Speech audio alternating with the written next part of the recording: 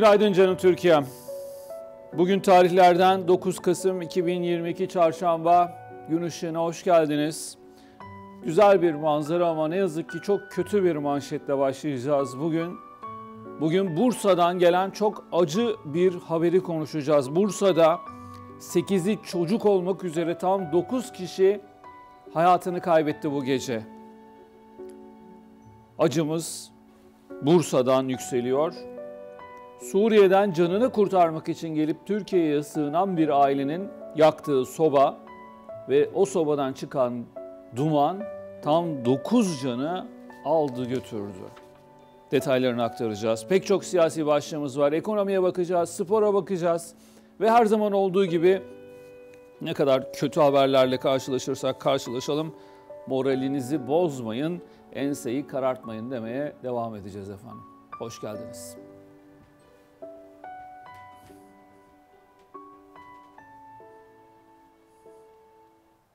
Henüz daha gün ışığından eser yok. Gördünüz İstanbul Boğazı'ndan canlı görüntüler Ortaköy'den, Ortaköy sahilinden aktardık. Bugün İstanbul tartışılıyor. Bugün İstanbul Büyükşehir Belediyesi Başkanı Ekrem İmamoğlu tartışılıyor. Pek çok siyasi tartışma var. HDP var, MHP var. AK Parti ve aslında bakıldığı zaman o görüşme, HDP görüşmesi siyaseten konuşuluyor, konuşulacak. Ekmek mevzusu var. Hepsini konuşacağız ama ne yazık ki gecenin bir sıcağı var. Bu gecenin sıcağında da büyük bir acı var.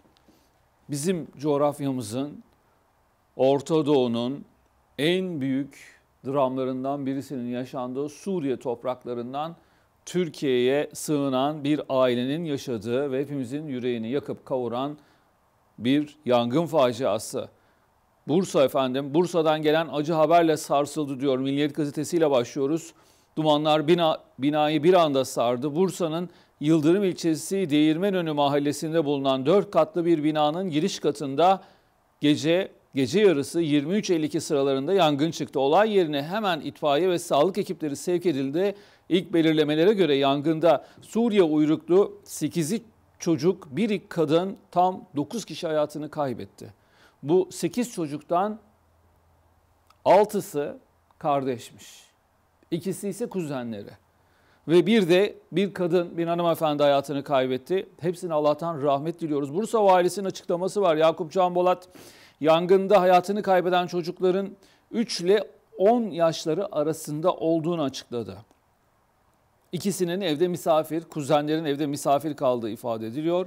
Vali Can Bolat yangının çıkış nedeniyle ilişkin itfaiyenin ön tespitleri sobadan kaynaklanma ihtimalinin yüksek olduğunu gösteriyor.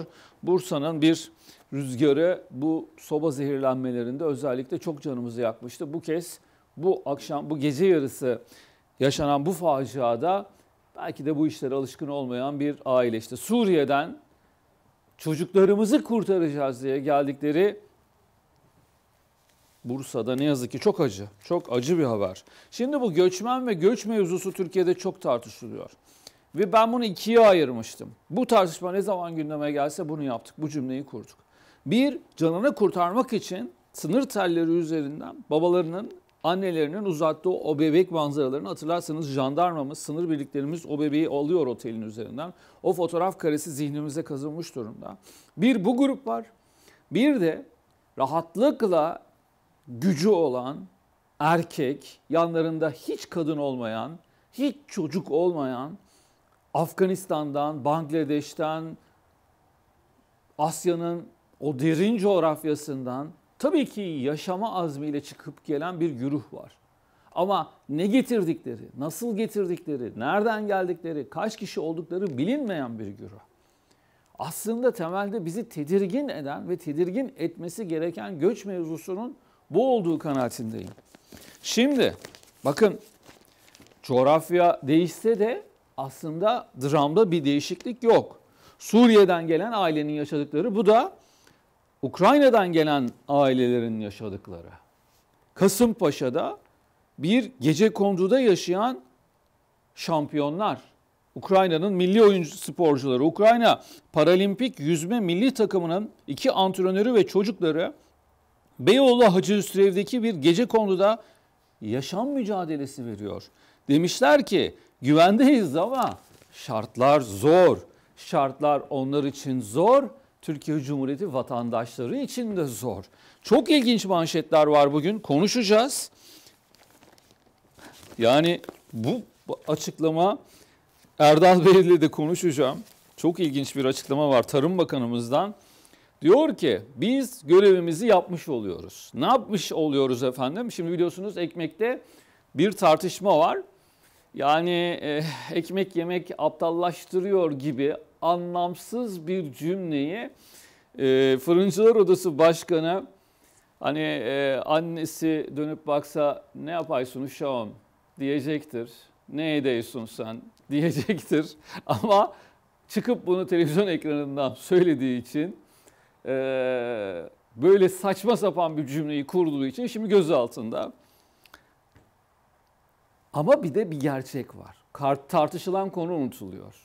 Ekmek 5 liradan 7,5 liraya çıkmak üzere. Resmi rakam 4 lira ama kimse 4 liraya satmıyor. İstanbul'da ekmek 5 lira kardeşim.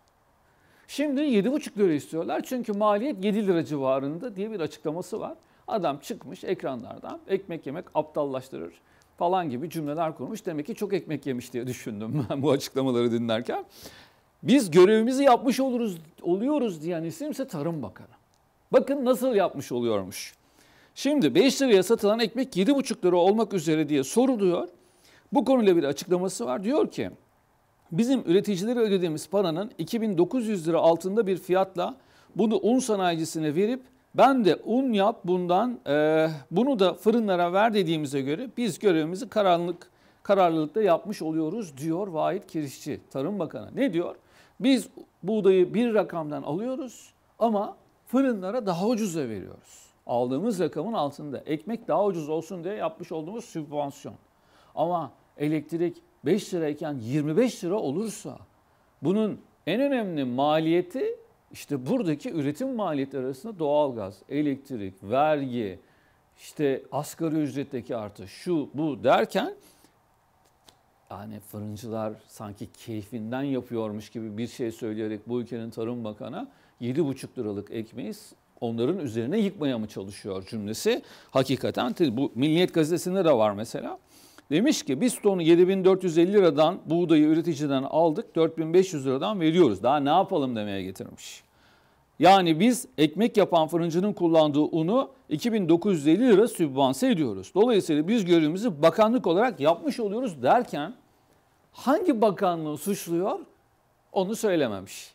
Hani biz yapmışız, Tarım Bakanlığı yapmış da Enerji Bakanlığı, Hazine ve Maliye Bakanlığı acaba yapması gereken şeyi yapmış mı?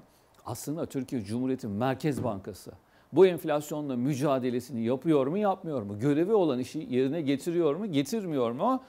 Bunları konuşuyor Türkiye. Biz de 3 saat boyunca BBN Türk ekranlarından anlatacağız. Uzun bir giriş oldu. Acı var. Onu da görüntüleri de birazdan paylaşacağız efendim. Bursa'ya gideceğiz bakacağız. Neler yaşandı gece boyunca? 9 kişi canını kaybetti. Hiç kolay değil. Ama programımızın bir sıralaması var. Trafik çilesiyle başlıyoruz. İstanbul'da bir yol ve e, hava durumu manzaralarını bir aktaralım. Şu anda rakam görünmüyor arkadaşlar. Sizde de görünmüyor zannediyorum ama yoğunluk haritası çalışıyor. Evet internet sitesinde bir sıkıntı söz konusu ama köprüler şimdiden tıkalı durumda. Görüntüleri aktaralım verebiliyorsak. İşte canlı görüntülerle zaten harita olmasa da anlatabileceğimiz bir manzara. Kapkaranlık bir havada yapmaya alıştık iyice. Hani yaz aylarında alışmıştık Programımızdan önce gün doğuyordu ama tarihlerden 12 Kasım, 9 Kasım özür diliyorum. 9 Kasım'ı göstermişken gördüğünüz gibi kapkaranlık bir havada programımızı başlatıyoruz. 15 Temmuz Şehitler Köprüsü'nün canlı görüntüsüne bakıyorsunuz. Bu saatte bile adım adım ilerleyen Beylerbeyi katılımı öncesinde çok ciddi bir trafik olduğunu görebiliyoruz. Bakalım Fatih Sultan Mehmet Köprüsü'ne.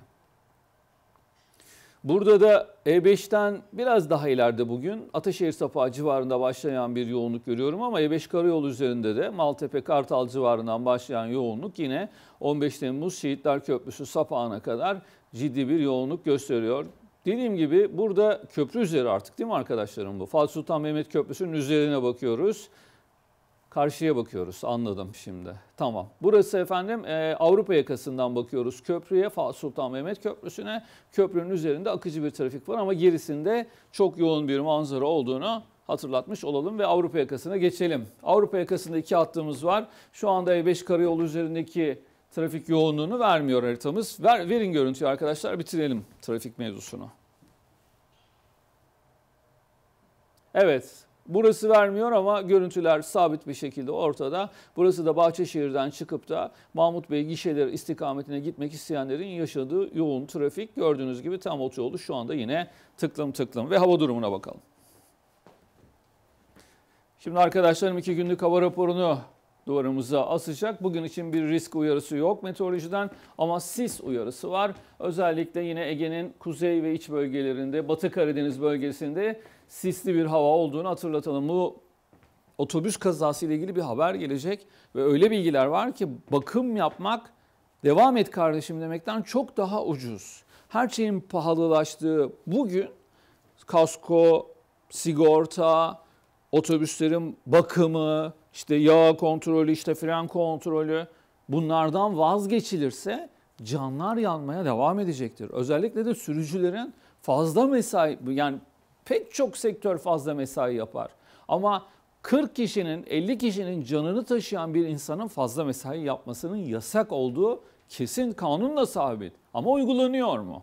Ona bakmak lazım.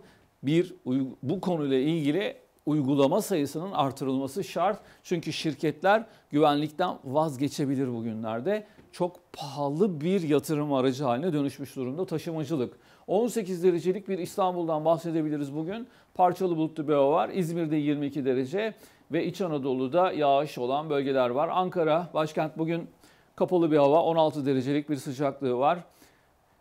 Bakıyorum şöyle Yozgat'ta 10, Sivas'ta 12 ve Konya'da 13 derecelik sıcaklık görüyoruz. Çukurova bölgesinde yağış geçişleri var. Hatay'da yağmur bekleniyor 20 derece. Antalya'da ise parçalı bulutlu bir hava var 24 derece olacak. Doğu Karadeniz bölgesinde de yağış geçişleri bekleniyor efendim. Trabzon'da 16, Rize'de 15 derecelik sıcaklık. Ardahan, Bayburt bu bölgelerde Kars, eksi dereceler, eksi 3 dereceye kadar düşen bir hat ve karla karışık yağmur bekleniyor bu bölgede. Doğu Anadolu bölgesinde ise bulutlu bir hava var. Diyarbakır bugün 16, Hakkari 9 derece olacak. Yarına bakalım. Yarın yine hemen hemen aynı manzara ama sis İç Anadolu'da da etkisini artıracak. Doğuda ise sıcaklıklar düşmeye devam ediyor. Erzurum'da gece eksi 1 dereceye düşüyor. Yine Kars bölgesinde eksi 1 ve karla karışık yağmur beklentisi var. Batıda ise sıcaklık değerleri çok düşmemekle birlikte işte bunun da etkisiyle sis etkili olmayı sürdürüyor. Evet manşetler. Güvenlik kaygılarımızı giderin. Şimdi bugün pek çok manşetti bu söz konusu. Dün bir konuğu vardı. Ankara'nın İsveç Başbakanı Kristersson. Şimdi NATO'ya girmeye çalışıyorlar. Biliyorsunuz bazı sözleş, e, sözleri var. PKK ve e, FETÖ, PDY yapılanmasının unsurlarıyla ilgili olarak Ankara'da o e, FETÖ terör örgütü unsurlarının bu bir utanç mevzusu aslında bizim için. Ama bir taraftan da demokrasiye sahip çıkan bir halk, devletine sahip çıkan bir halk. Hani ben 15 Temmuz'u anlatırken şunu seviyorum. Bu ülkenin çocukları devletine, bu ülkenin halkı demokrasisine sahip çıktı demek güzel, hoşuma gidiyor ama aslında o gün yaşanan dram bizim için, demokrasi tarihimiz için büyük bir utanç meselesi. Yani Onunla ilgili mesela mecliste anladığım kadarıyla bir fanus içerisinde o bombalanan nokta gösteriliyor. Gidip karanfil bırakmış İsveç Başbakanı da FETÖ'cüleri iade etmeye çalışıyor Ankara. Psikolojik bir baskı yapıyor. Ve tabii ki aslında Avrupa terör örgütlerinin sığınma noktası olmaktan çıkmalıdır. Ama bizim için de özgürce konuşmak halinin sağlanması şart herkes o yasak, bu yasak, sen konuş. İşte mesela bu HDP ile görüşme mevzusu bile. Şimdi insanlar bir şey söylediği için tutuklanması, delilsiz, yeterince delil olmadan yıllarca cezaevinde kalması, tutukluluğun, tutukluluk halinin, yargılama sırasındaki tutukluluk halinin e, bir cezalandırma yöntemi haline dönüştüğü kanısının yerleşmesi bu memlekette. İşte bunlar insanları Avrupa'ya kaçırtan hikayelerdir. Bundan kaçmak lazım. Bir mesela Ekrem İmamoğlu mevzusu. Bir hakimin çeşitli iddiaları, söylentiler. Şimdi dün Ekrem İmamoğlu da söylemiş. E, ya bu cezayı versen yükseltelim ya da seni gönderelim dediği iddiası konuşuluyor. Bunu Ekrem İmamoğlu seslendiriyor bu iddiayı. Ve gerçekten de hakim gitti. Şimdi bir gerçeklik üzerinden kurulduğu için bu cümleler hakimin gidişi üzerinden kurulduğu için insanların kafasını karıştırıyor. HSK'nın bu konuyla ilgili iddialara ne diyeceği merak konusu. Adalet yoksa hiçbir şey yoktur. Siyaset bir yere kadar insanları bazı cümleler etrafına dolandırabilir. Eninde sonunda gerçeklerin ortaya çıkmak gibi kötü bir huyu vardır efendim. Bu memlekette bütün insanlar için adalet istiyoruz. AK Partililer için adalet istiyoruz. MHP'liler için adalet istiyoruz. CHP'liler için adalet istiyoruz. İyi Partililer için adalet istiyoruz. Herkes için adalet istiyoruz. Ona adalet, buna adaletsizlik olmaz. Bu terazi bu dengeyi tartmak zorundadır.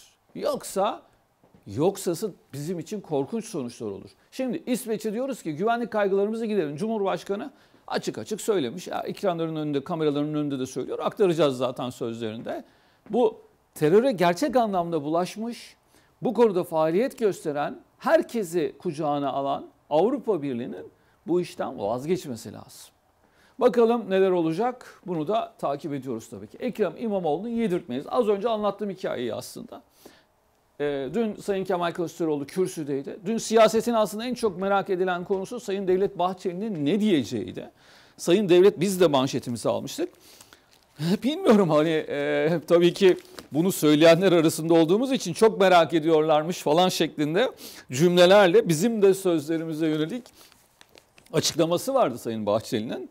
Hani e, bizim üzerimizden yükleniyorlar demeye getiriyor. Ama yani sonuçta iki fotoğraf karesi var. Bunu MHP'liler de merak edecektir herhalde. Sayın Bahçeli'nin ne diyeceğine. Bu manşet alınmaz ne alınır ki başka memlekette? E bunca zamandır CHP, KKK, HDP, KKK falan filan cümleleri kurulduktan sonra altılı masada yok kardeşim denildikten sonra masanın altına bakılarak ya HDP bu masanın altında mı diye bunca cümle kurulduktan sonra her görüşmenin ya bakın şöyle bir şey var. Ben HDP'li bir grupla CHP ya da İyi Partili bir grubun görüşmesinden sonra çıkacak fotoğraf karesine atılacak manşetleri düşünemiyorum. Hani neler yazılırdı acaba? Vatana ihanet mi kalırdı? Bunlar şehitlerin kanı üzerinden yapılabilecek her türlü siyaset mi olmaz mıydı bu manşetlerde yazılmaz mıydı? Yazılırdı. E şimdi bunla, bunca zamandır bu tantana yaşandıktan sonra acaba ne diyecek diye sorduk. Biz de sorduk dün manşetimizde. Ama eleştiri bu soruyu soranlara geldi Sayın Bahçeli'den. Ve dedi ki mecliste grubu bulunan siyasi partilerin ziyaret edilmesi son derece doğal ve doğrudur. O zaman herkes görüşebilir demek ki. Sayın Bahçeli'den bu konuyla ilgili bir icazet çıktı kanaatindeyim dünkü açıklamasında. Geçelim onu anlatacağız. Ekrem İmamoğlu'nu yedirmeyiz diyor. İstanbul İl Başkanı Canan Kaftancıoğlu görevinden alındı ama İstanbul yani reel olarak aslında başkanlık görevini devam ettiriyor bir şekilde. Ama tabii bu başka. Büyükşehir Belediye Başkanlığı koltuğundan alınırsa ben bunu defalarca söyledim. Ben o koltuktan alınan bir ismi alınışını, o otobüse binişini, taraftarları tarafından Trakya'daki cezaevine gönderilişini o anda oradaydım, takip ettim. Gözyaşları içerisinde sloganlarla, alkışlarla gönderildi cezaevine. Eşi Emine Erdoğan yine gözyaşlarıyla sarıldı ve gönderdi. Biliyorsunuz kim olduğunu. Bugün Cumhurbaşkanı olan isim Recep Tayyip Erdoğan. Eğer Ekrem İmamoğlu hakkında gerçekten iki yılı aşan e, miktarda bir ceza verilir ve siyasi yasak getirilir ve o koltuktan yine zorla alınırsa bunun tantanasını Türk siyasetine etkisi olacaktır. Bence Ekrem İmamoğlu'nun önünü açar bu karar. Tarihten ders alarak söylüyoruz bunu. Onun önünü açar da Türk siyasetine ne yazık ki lekeler. Türk siyasi hayatını zorlaştırır. bizim bu yasaklama manevralarından vazgeçmemiz lazım. Ama yine de tabii ki suç varsa herkes yargılanır. Gökhan yargılanır, Ekrem yargılanır, Ahmet yargılanır, herkes yargılanır. Kanun önünde herkes eşittir. Ama suçun kavramının içi dolu olması lazım. Süleyman Soylu ile atışmasına YSK üyeleriyle yapılmış gibi cezalandırılması Türkiye Cumhuriyeti tarihine geçecektir efendim. Bursa'da 8'i çocuk 9 kişi öldüğü manşetimize daldı. Korkunç görüntüler, korkunç bilgiler var. Valilerin açıklaması var. İşte insanlık dramı yaşanıyor bu coğrafyada. Suriyelilerle ilgili de tabii ki cümlelerimizi kurarken hep bunu söyledik. Bugün Türkiye'nin bir Suriyeli göçmen sorunu vardır. Bunu hükümet ister kabul etsin ister etmesin. Bir dönem bu konunun üzerine yatılıyordu. Hatta Süleyman Soylu dedi ki giderlerse iş dünyası çöker sigortasız çalıştırıldıklarına dair bilgi var. Bu da dedik hak yemektir. Suriyeliyi de çalıştırıyorsanız sigortalı olarak çalıştırmak zorundasınız. Çünkü ona yatırmadığınız sigorta bu sefer dönüyor emekliler için deniyor ki bu memlekette sigortalı çalışan sayısı az. O yüzden emekli maaşları birbirini dengelemiyor. Çalıştırma o zaman Suriyelileri sigortasız. EYT'lilere bu söyleniyor. Emeklilere bu söyleniyor. Çok az çalışan var. Emekliler e, emekli edemiyoruz, karşılamıyor, SGK'yı batıralım mı diye cümle kuranlara sesleniyorum. Burada kaç Suriyeli sigortasız çalışıyor? Bir dönüp baktınız mı? Ya bu günah değil mi en azından? Geçti mi emeklilik sistemini SGK'sını? Vicdansızlık değil mi? Yani biz ne zaman vicdanımızı bu kadar kaybettik? Gelsin görüntüler arkadaşlar. Verelim şu Bursa'yı. Bursa'nın Yıldırım ilçesi burası. Bir apartmanda dün 23.52 sıralarında çıkan yangın e, korkunç bir halle sonuçlandı. 8'i çocuk, 9 can gitti. Bir dinleyelim bakalım arkadaşlar. Evet görüyorsunuz e, cenazelerin çıkartılışı sırasında e, tabii o nahoş görüntülerin engellenebilmesi için de yani Bizim notlarımızda en küçüğü 1 yaşında ama valinin açıklaması var. En küçüğü 3, en büyüğü 10 yaşları arasında tam 8 can gitti. Bir de artık anneleridir büyük bir ihtimalle. Bir de hanımefendi hayatını kaybetti bir kadın e, bu evde. Saat 23.52 sıralarında Bursa'da 4 katlı apartmanın birinci katında yangın çıktı. Yangının soba kaynaklı olduğu düşünülüyor. Bursa'nın Merkez Yıldırım ilçesinde bir apartman dairesinde çıkan yangında 8'i çocuk 9 kişi hayatını kaybetti. Yangında dumandan etkilenen baba ve 3 kişilik komşu aile ise hastaneye kaldırıldı. Bursa valisinden açıklama var dinleyelim. Olduğunuz 4 katlı binanın e, dükkanların üstündeki ilk katında, zeminin üstündeki ilk katında 23.52 gibi itfaiye gelen bir ihbar sonucu bir yangın olduğu anlaşılıyor. İtfaiye ekiplerimiz hemen bölgeye intikal ediyor ve yangını söndürmeye çalışıyor. Ama maalesef ki Yangın söndürüldükten sonra içerideki tablo üzücü. Bizleri hakikaten üzdü. İçeride 9 tane ceset var. Bunların 8 tanesi çocuk, bir tanesi anne.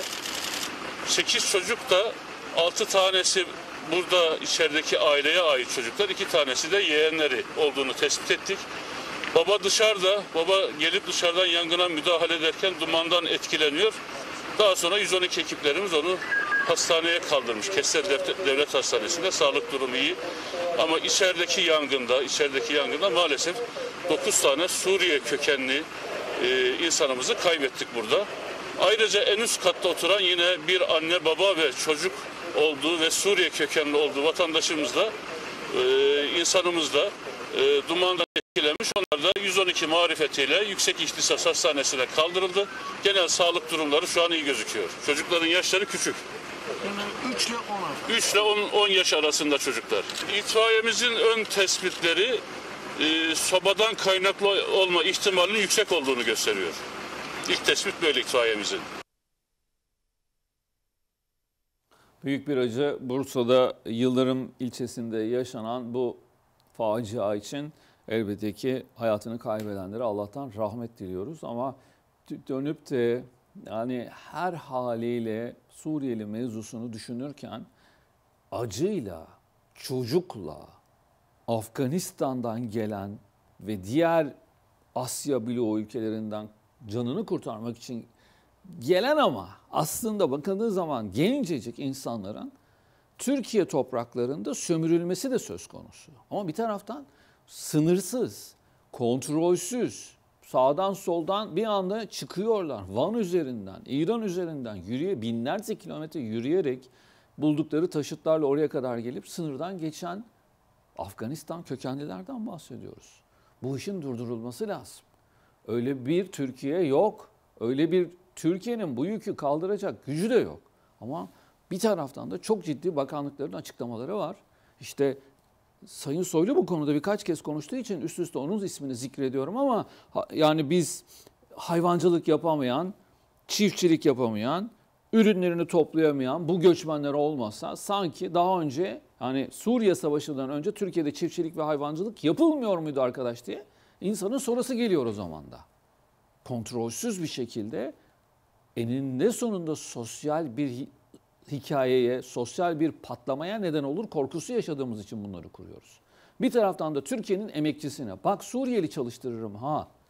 Bu olmaz. Bu kabul edilebilir bir şey değil. Ama bugün için çok büyük bir acı var. Onu konuşuyoruz, anlatıyoruz. Dile kolay 8'i çocuk, en küçüğü 3 yaşında 9 can. İşte Esad'ın Suriyelileri aslında yaptıkları bunlar.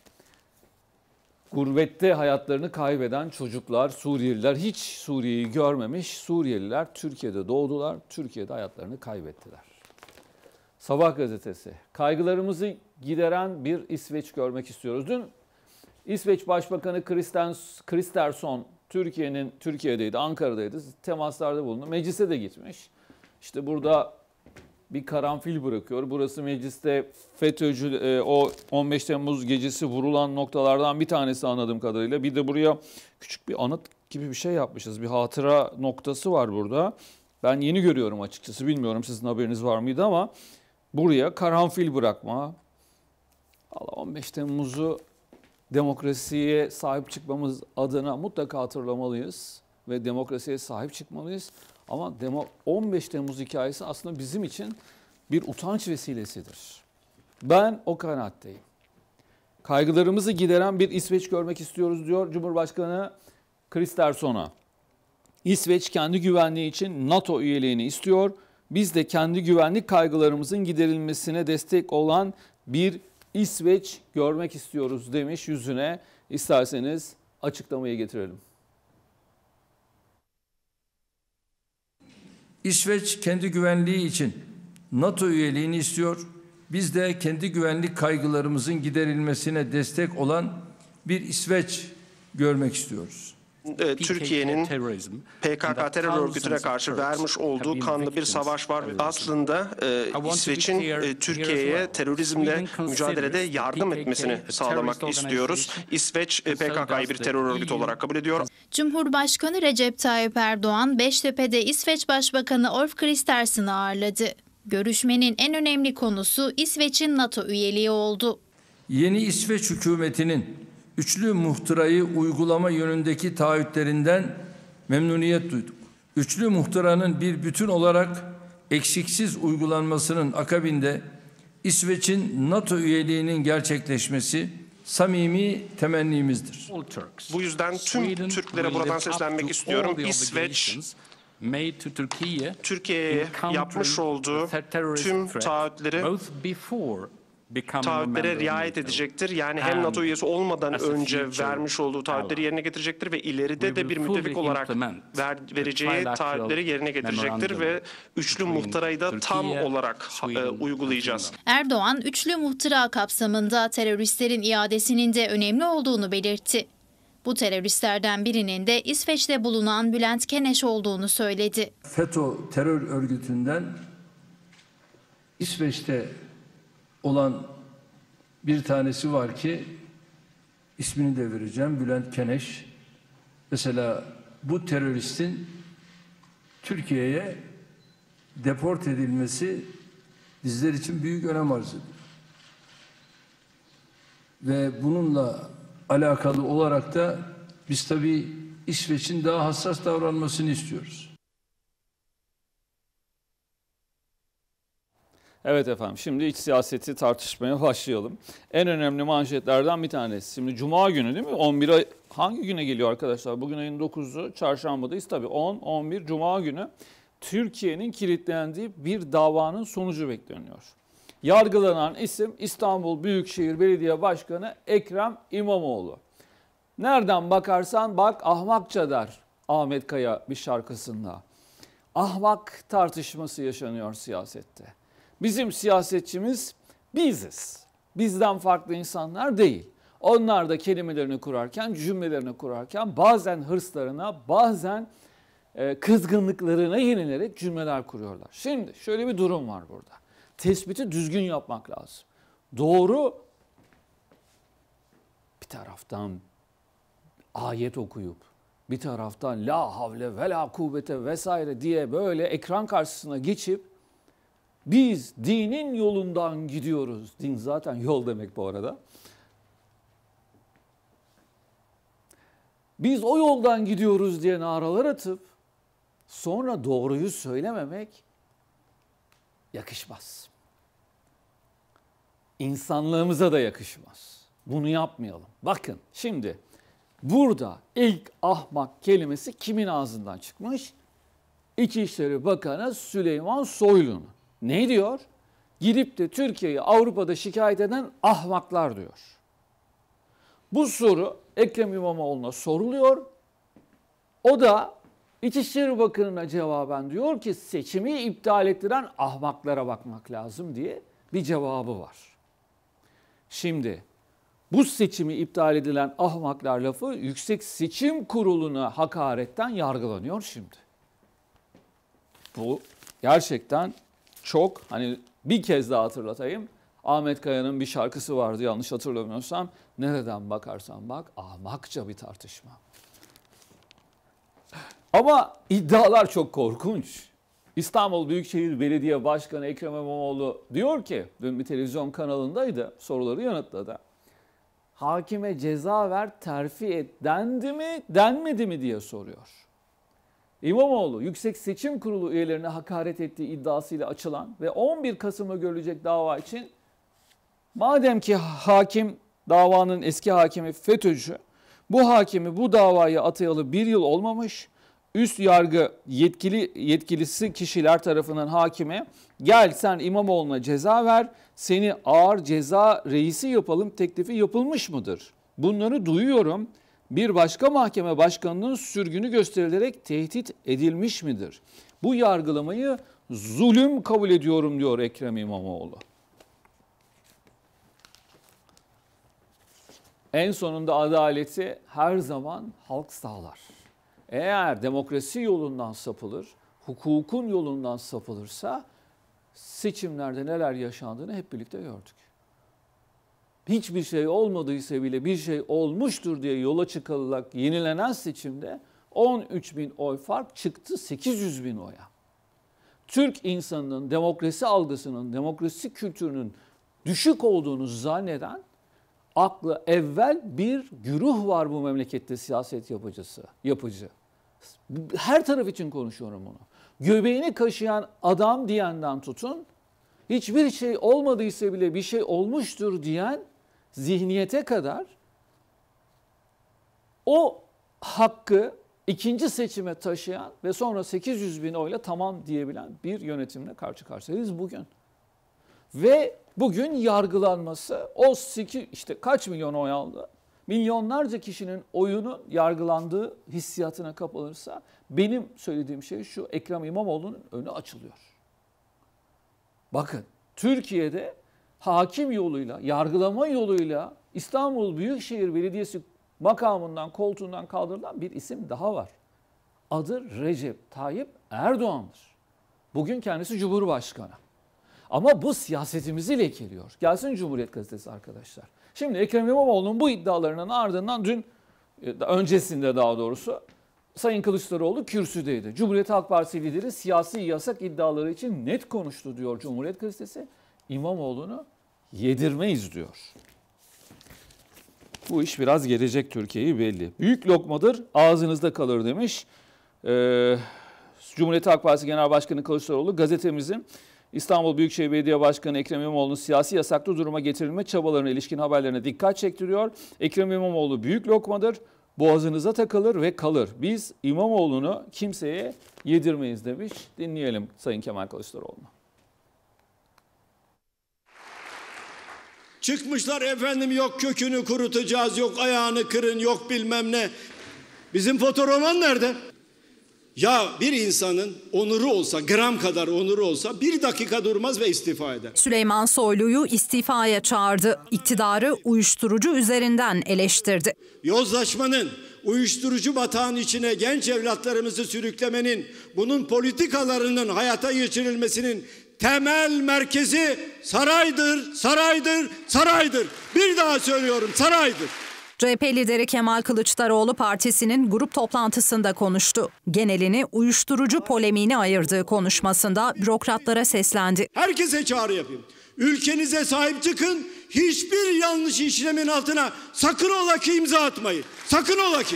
İstanbul Büyükşehir Belediye Başkanı Ekrem İmamoğlu'nun 11 Kasım'da görülecek davasına değindi. Siyasi yasaklı hale getirilmeye çalışıldığını öne sürdü. Açık ve net söylüyorum. Ekrem İmamoğlu büyük lokmadır. Boğazınıza takılır ve kalır. Biz Ekrem İmamoğlu'nu kimseye yedirmeyiz. Yurtdışı gezilerini eleştiren Cumhurbaşkanı Erdoğan'a mesaj gönderdi. Geziyorum o nereleri geziyorsun diyor soruyor. Sen nereleri gezdiğimi zaten bilemezsin ki. Ben senin gittiğin yerlere gitmem ki. Sen baronlarla konuşursun ben konuşmam ki. Sen temiz para nedir bilmezsin. Sen ahlak nedir, erdem nedir, adalet nedir bilmezsin. Sen Türkiye nedir bilmezsin. Kasım ayı sonunu işaret etti. Öyle kanal attım, kazma vurdum falan böyle vizyonsuz adamlarla bizim işimiz yok. Türkiye'yi 21. yüzyılın yıldızı haline nasıl getireceğiz? Bunu anlatacağım bunu. Erdoğan'dan rica ediyorum. Anlattığım zaman sen de dinle bunu. Kılıçdaroğlu Nisan ayındaki grup konuşmasında yol arkadaşlarına seslenmiş ya bana katılın ya da yolumdan çekilin demişti. Yine benzer bir ifade kullandı. Nefsine hakim olmayan hiç kimseyi yanımda tutmayacağım. İsterse 40 yıllık arkadaşım olsun. Bay Kemal'in yanında kulla kulluk edenler asla ve asla yer almayacak.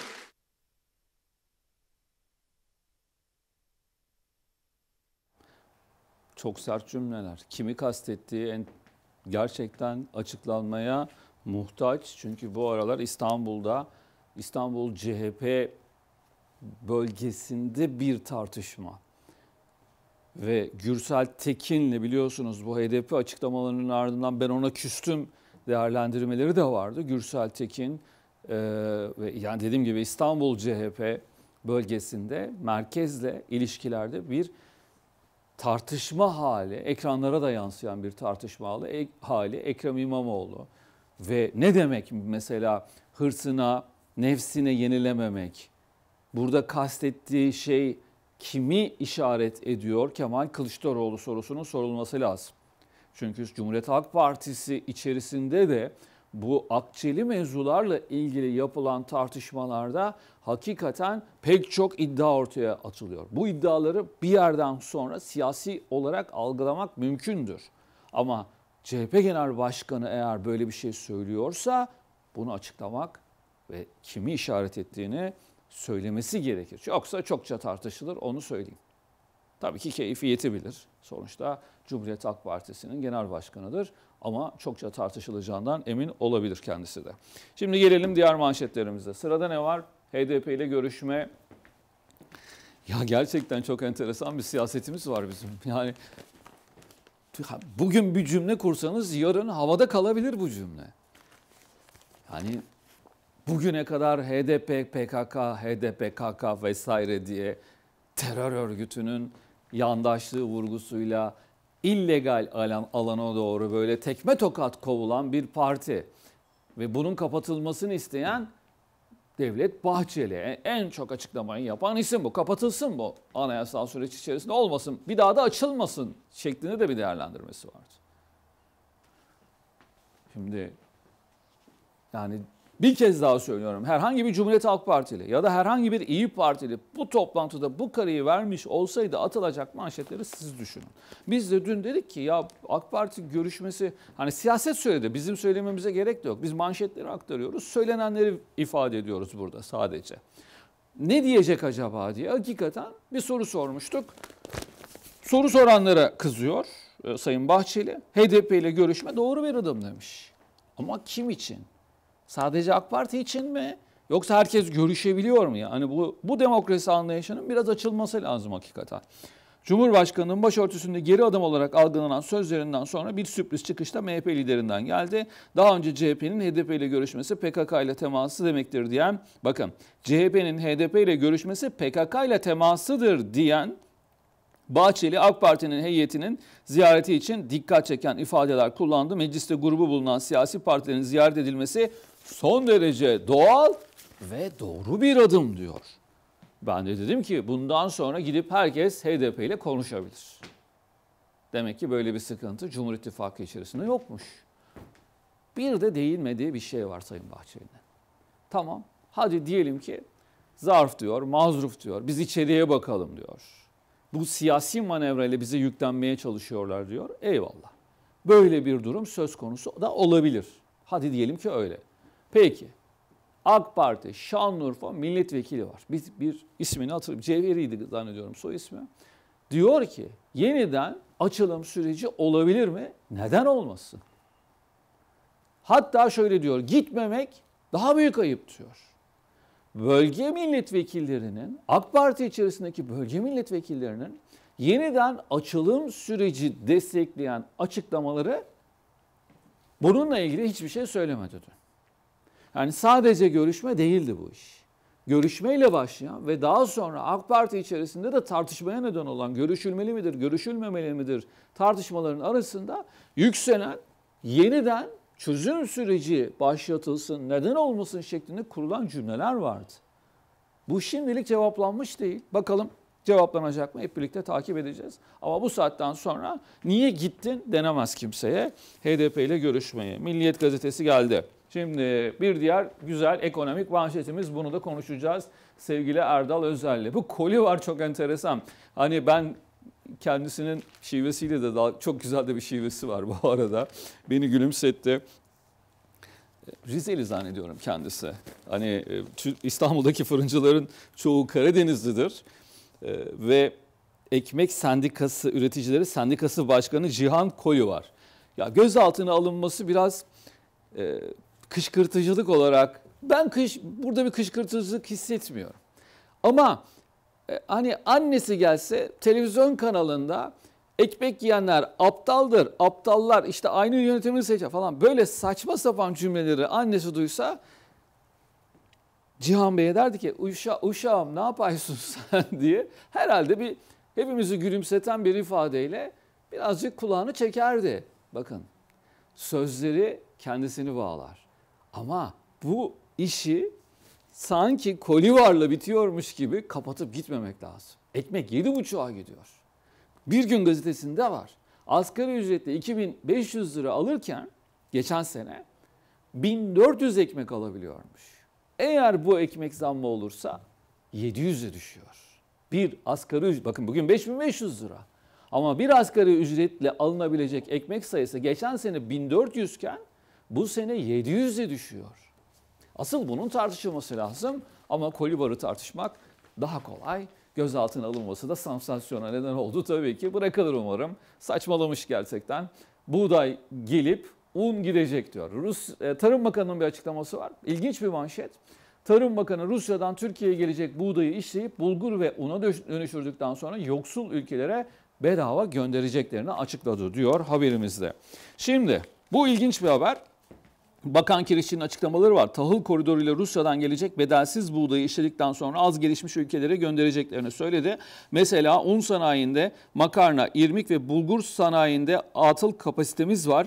Bunları işleteceğiz. Cumhurbaşkanımızın arzusu bedava aldığımız buğdayı bulgur, un olarak bedava vermek diyor. Peki ekmeğe zam tartışması sorulmuş tabii. Şimdi biz bazı ülkelere bedava un ve bulgur gönderiyoruz da e, vatandaş bu ekmeği 7, 7, 7500 7,5 liradan alabilir mi sorusuna şöyle bir cevap veriyor Sayın Kireççi. Biz tonu 7450 liradan aldığımız buğdayı üreticiden aldığımız buğdayı 4500 liradan veriyoruz. Yani 3000 lira civarında bir sübvansiyonumuz var. Yani daha ne yapalım demeye getirmiş. Dolayısıyla biz görevimizi bakanlık olarak yapmış oluyoruz diyerek topu diğer bakanlıklara atmış ekmekle ilgili olarak. Kim bu bakanlıklar? Elektrik maliyeti ise Enerji Bakanlığı. İşte vergi kalemleri ise şu busa Hazine Bakanlığı. Yani diyor ki Sayın Kirişçi, ekmek ve buğday konusunda sorumlu olan isim bizim günahımız yok diyor. Kimin günahı var peki arkadaş? 7,5 liraya çıkarsa kimi suçlayacak bu memlekette insanlar? Ve meclisimizde komisyonlarda bakanlıkların bütçeleri konuşulmaya devam ediliyor. Dün Dışişleri Bakanı Sayın Çavuşoğlu komisyondaydı ve öncesinde Mehmet Muş e, komisyonda tartışılırken işte eski bakan çok gündeme geldi. Hakikaten ya bir görevden alma var, bir ihlal iddiası var, soruşturma, soruşturmayı duyan yok. SPK konusundaki soruşturmayı hala merak ediyoruz. Dinleyelim Sayın Çavuşoğlu'nu. 20 yıllık iktidarımız sırasında milli güç unsurlarında sağlanan konsolidasyon bizi daha güçlü kıldı. Bu sayede krizlerin çözülmesinde küresel çapta saygın bir aktör haline geldi. Dışişleri Bakanı Mevlüt Çavuşoğlu mecliste bakanlığının bütçe sunumunu yaptı. Plan Bütçe Komisyonu üyelerine dış politika konusunda bilgi verdi. Tahıl Anlaşması'nın uzatılması için yoğun bir diplomasi yürüttüklerini kaydetti. Küresel gıda güvenliğine en büyük katkıyı yapan ülke olduk. Anlaşma sayesinde dünya gıda fiyatları bu 13 yıldır yaşanan en büyük düşüş oldu. Çavuşoğlu Türkiye'nin inisiyatif almadığı bir senaryoda kaosun kontrolsüz şekilde büyüyeceğini söyledi. Şu anda da savaşın sona erdirilmesi için en çok çaba harcayan ülke Türkiye. Bakan Çavuşoğlu savaşla birlikte NATO üyeliğine başvuran İsveç ve Finlandiya ile imzalanan üçlü muhtıraya da değindi. Muhtıranın terörle mücadelede önceliklerin kayda geçirilmesinde önemli bir kazanım olduğunu belirtti. Sözü Avrupa Birliği üyelik sürecine getirdi. Türkiye-AB ilişkilerini daha olumlu bir gündeme taşımaya çalışıyoruz ve taşıdık. Avrupa Birliği üyeliği hedefimize biz Türkiye olarak bağlıyız. Avrupa'nın aslında bu zor günde Türkiye'ye ihtiyacı var.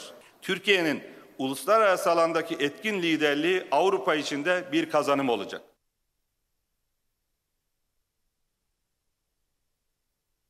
Ve depremi yaşadık geçen hafta İzmir'de biliyorsunuz. Kentsel dönüşüm çok önemli. Bakan Murat Kurum demiş ki bu kentsel dönüşüm mevzusu bir milli güvenlik meselesidir. Kentsel dönüşüm bir güvenlik meselesidir, beka meselesidir ve daima da siyaset üstü bakılması gereken bir konudur. Asla da ihmale gelmez. Hedefimiz 5 yıl içinde 500 bin sağlam konut dedi. Deprem dönüşümünün altını çizdi. Ben o depremlere gittiğimizde bu sorumluluğu omuzlarımda hissediyorum.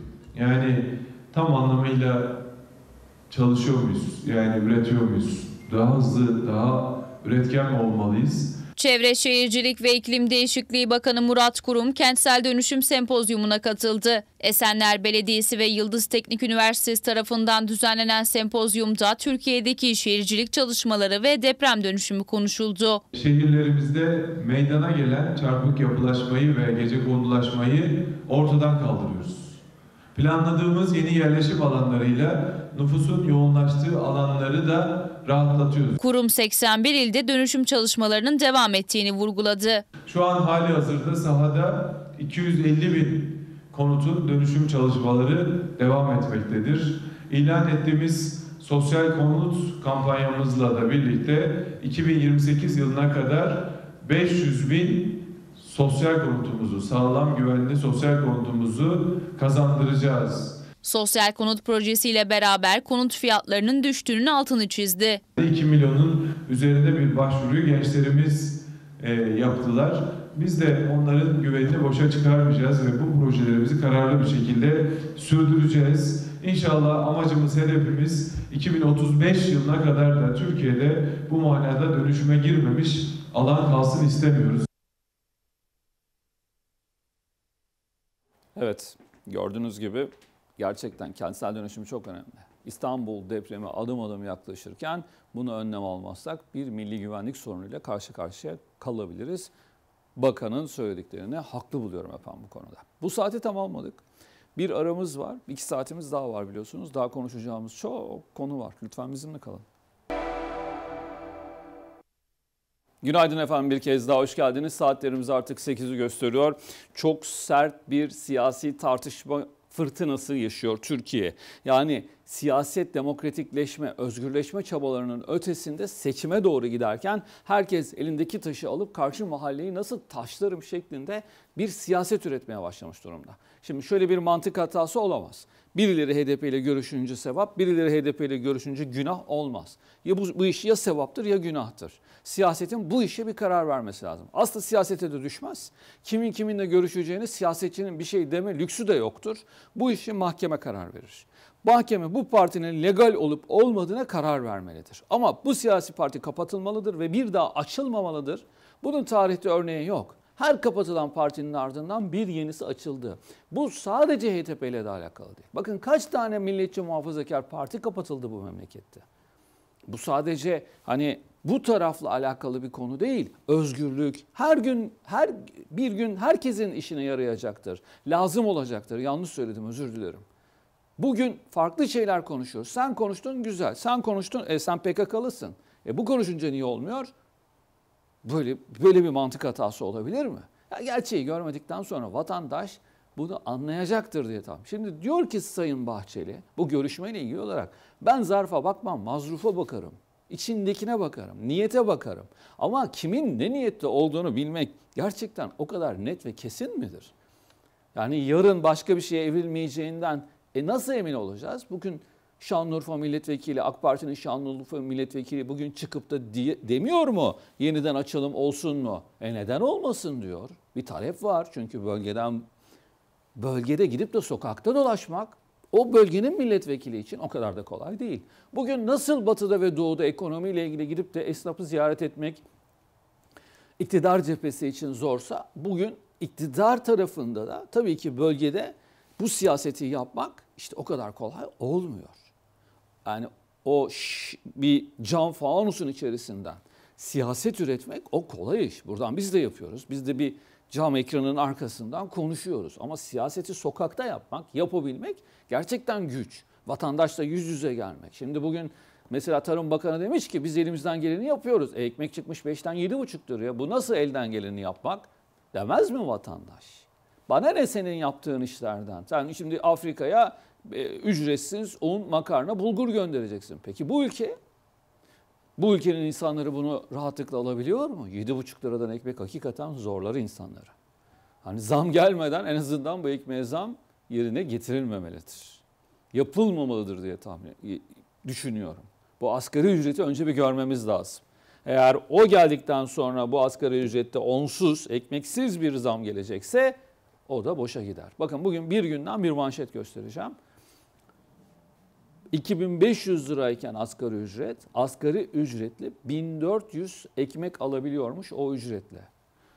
Bugün 7,5 lira olursa o asgari ücretli 2500 lirayla 1400 ekmek alabilen asgari ücretli 5500 lirayla sadece 700 ekmek alabilecek. Yani gerçeklerin kendini göstermek gibi, doğruların kendi eninde sonunda ortaya çıkmak gibi kötü bir huyu vardır. Burada da bu yaşanıyor. Vatandaşın bir ekmek kavgası var bu memlekette.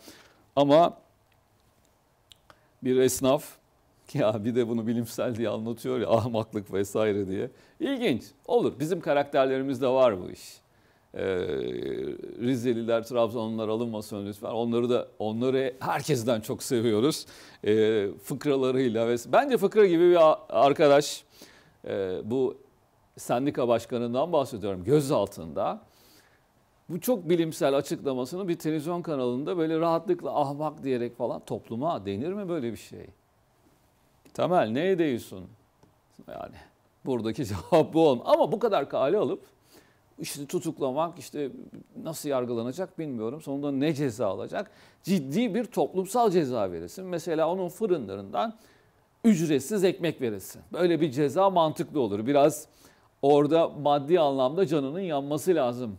Bu beyefendinin belki de söylediğinden hicap duyması için.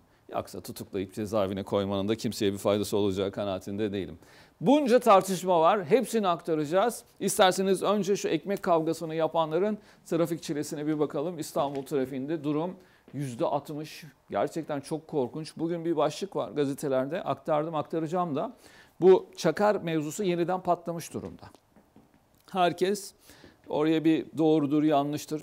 Arkalarında resmi plakada yazıyor. Çoğunda resmi plakada var. Bakın şimdi bir aklı evvel grubu var. Ben bunu kullanırım, geçerim, giderim diyen, hiç yetkisi olmayan, o çakar kullanma ehliyeti olmayan insanlar yol istiyor, sürekli taciz ediyor.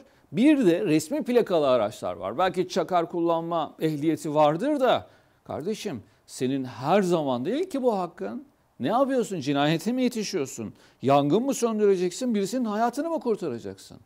Hep söylüyorum bu konuda. Çakarı takıp arkada resmi plaka benim paramla, benim paramla bindiği arabayla bana hava atıyor. Benden yol istiyor. Senin ne üstünlüğün var benden?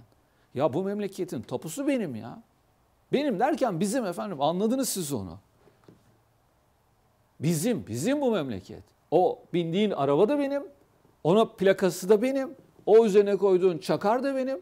Beni taciz edip benden yol istiyor adam. Hadi oradan. Diyemiyor çoğu insan tabii ki. Çünkü arkasından gelen bir koruma ordusuyla burada sıkıntıya düşme ihtimali de var. O yolu insanlar veriyor. Hakkın yok senin o yolu istemeye. Şimdi görüntüler gelecek. İnsanların çilesine bir bakın. %60'a ulaşmış. Beyler o yoldan kaçacak gidecek. Emniyet şeridine giren. İnşallah trafik polislerimiz bunlara göz yummuyordur. İnşallah canlarını yaksınlar. Şu manada tabii ki yani şiddet anlamında söylemiyorum. Cezaları versinler. O çakarları da alsınlar ellerinden. Bu emniyet şeridinden kaçan, vatandaşı taciz eden, şu çileyi sadece vatandaş mı çekecek? Biraz da sen çek ki buna bir çözüm bulasın. Tabii sana trafik yok. Sana yollar açık. Ama İstanbullu işine gücüne gidemiyor. Trafik %60'lara kadar çıkmış durumda. 15 Temmuz Şehitler Köprüsü girişine bakıyorsunuz efendim. Hafif hafif güneş doğmak üzere. Hava aydınlandı ama insanlar hala yollarda yaklaşık 1-1,5 saattir işine gitmek için çabalayanlar var. Ve Fatih Sultan Mehmet Köprüsü'ne bakacağız. Gerisinden ta Kozyatağı'ndan o kadar uzun bir mesafe ki inanın bir gün hani İstanbul'da yaşamayanlar için söylüyorum. Bir gün gitseniz bu şehirde yaşanmaz deyip kaçarsanız. Arkadaşlarım görüntüyü veriyor şimdi. Ümraniye Sapağı civarından sağ tarafta yolun sağ tarafı bağlantı yolu da üstte bakın ne kadar korkunç ki aşağıdaki yol durma noktasında Ümraniye'den sonra böyle adım adım adım kilometrelerle gidecek de işine ulaşacak da verimli bir çalışma günü geçirecek. Çok zor. Avrupa yakasında da bugün işler yolundan çıkmış gibi görünüyor. İki hat var bu konuda hep anlatıyoruz. Bağlantı yolları ile birlikte TEM otoyolu ve E5 karayolunda da çok ciddi bir yoğunluk var. Topkapı civarına bir bakmanızı rica edeceğim arkadaşlar. Beylikdüzü Avcılar'dan başlayan hatta Küçükçekmece'ye kadar çok yoğun bir trafik var. Yine Yeni Bosna'dan başlayan hatta da neredeyse 15 Temmuz Şehitler Köprüsü'ne ve e, Zincirlikuyu sapağına kadar yine adım adım ilerleyen bir yoğunluk. Avcılar güzel. Avcılar sapağından çok bir e, yani durumu anlatan, güzel derken çok kötü bir görüntü ama arkadaşların seçimi için söylediğim güzeli. E, şu anda adım adım ilerleyen bir trafik işte birleşim noktasından sonra ise hiç gitmiyor. Neredeyse Yeşilköy sapağına kadar buraya da girmemenizi tavsiye edelim diyelim ve isterseniz artık demokrasi duvarımıza geçelim. Bakalım bugün hangi gazeteleri astık?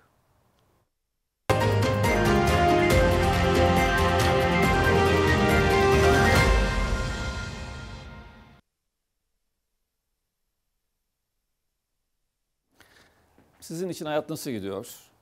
Yani günlerinizi rahatlıkla geçirebiliyor musunuz? Ekmeğinizi alabiliyor musunuz mesela? Markete gidip şöyle doyasıya ya ver oradan bir, bir kilo biftek demeyeli ne kadar oldu? Bu ülkenin insanların, çocuklarının gıda ile ilgili problemi var demek hiçbir karşılık bulmuyor bu memlekette. İşte ekonomi, tamam ekonomi şimdi ihracat rakamlarında gerileme olduğuna dair başlıklar var. Bakın şurası ekonomi. Erdal Bey ile konuşacağımız başlıklarımız. Yani çok ilginç başlıklar var. Bakın Ekim'de sadece hisse kazandırdı. İhracat iklimi bozuluyor. Tarımda ben bu manşeti hiç anlamadım. Yani gerçekten anlamadım. Bunu Erdal Bey ile uzun uzun konuşacağım. Tarımda lehte makas kapanıyor diyor Dünya Gazetesi. Şimdi biz çok ucuz bir TL'ye sahibiz. Yani o kadar ucuzladı ki adamlar için bedava. Buradan ekmek de göndersen ucuz, çikolata da göndersen ucuz, şeker de göndersen ucuz. Çünkü çok ucuz bir TL'ye sahibiz. Hani 1 dolar Türkiye'de çok para ediyor. 1 pound daha da çok para ediyor.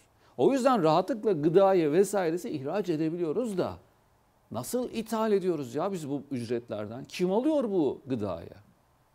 Aradaki makas nasıl kapanıyor? Bunu konuşacağız uzun uzun uzun. Ama vatandaşın ekmekle ilgili problemi var. Manşetlere de yansımış durumda. Onları da aktaracağız. Buğday gelip un gidecek. Türkiye'ye değil, zor durumdaki ülkeler. Onlara da yardım edelim. Kimse yardım etmeyelim demiyor ama bugün Türkiye'nin insanların bu kadar büyük bir ekmek problemi varken bu soru bakana sorulunca demiş ki biz elimizden geleni yapıyoruz. Bakanlığımızın hiç günahı yok. 7500'den aldığımız unu 4000 liraya veriyoruz fırıncıya. Daha ne yapalım demiş. Ama işte bunun doğalgazı var, elektriği var, çalışanı var, vergisi var. En çok da elektrikten bahsediliyor. Geçen sene 5 bin lira olan elektrik masrafı bir fırının 25-30 bin liralara çıkmış durumda. Fırıncı ne yapsın? Yani ne yapmasını bekliyoruz fırıncı? Eninde sonunda iflas eder para kazanamazsa batar, kapatır gider. Bak Ulf, FETÖ işte budur diye götürdüğümüz yer mecliste bir faunus içerisinde FETÖ'cüler tarafından bombalanan meclisin çatısı vesaire herhalde. Ben görmedim ama buraya işte karanfil bırakmış. İsveç Başbakanına e, terörle terbiye ediyoruz. Ve gösterdiğimiz yer ben 15 Temmuz'u düşündüğüm zaman bir taraftan sokağa çıkan vatandaş açısından büyük bir gurur ama bir taraftan da devletin içinde bu kadar büyük bir çetenin yerleşmesine müsaade ettiğimiz ve o gece bizim uçağımızda bizi vurduğu için büyük bir utanç duyuyorum. Binlerce yıllık tarihi olan Mehmetçiğin içerisine çöken bu çetenin çöküşüne müsaade edilmiş olduğu gerçeği o gece çok ciddi bir şekilde karşımıza duvar böyle bir tokat gibi çıktı. Hani ben olsam kapatırım unuttururum mevzuyu. Olmamış gibi davran. Ama işte yenilerinin önüne geçebilmek için FETÖ ile mücadele etsen ne olacak? FETÖ gidiyor, yerine ne geliyor? Başka FETÖ'ler yerleştiği iddiası. Yine devlet içerisinde. Yine liyakatsizlikte, yine birilerinin adamı olarak. FETÖ ile KETÖ arasında benim için ne fark var? Ya hak eden girsin şu devlet makamlarına kardeşim. Yetişmiş, dünya görüşü olan, bu ülkeye bağlı, başka mihraklara değil, komutanına bağlı olan, imamına değil,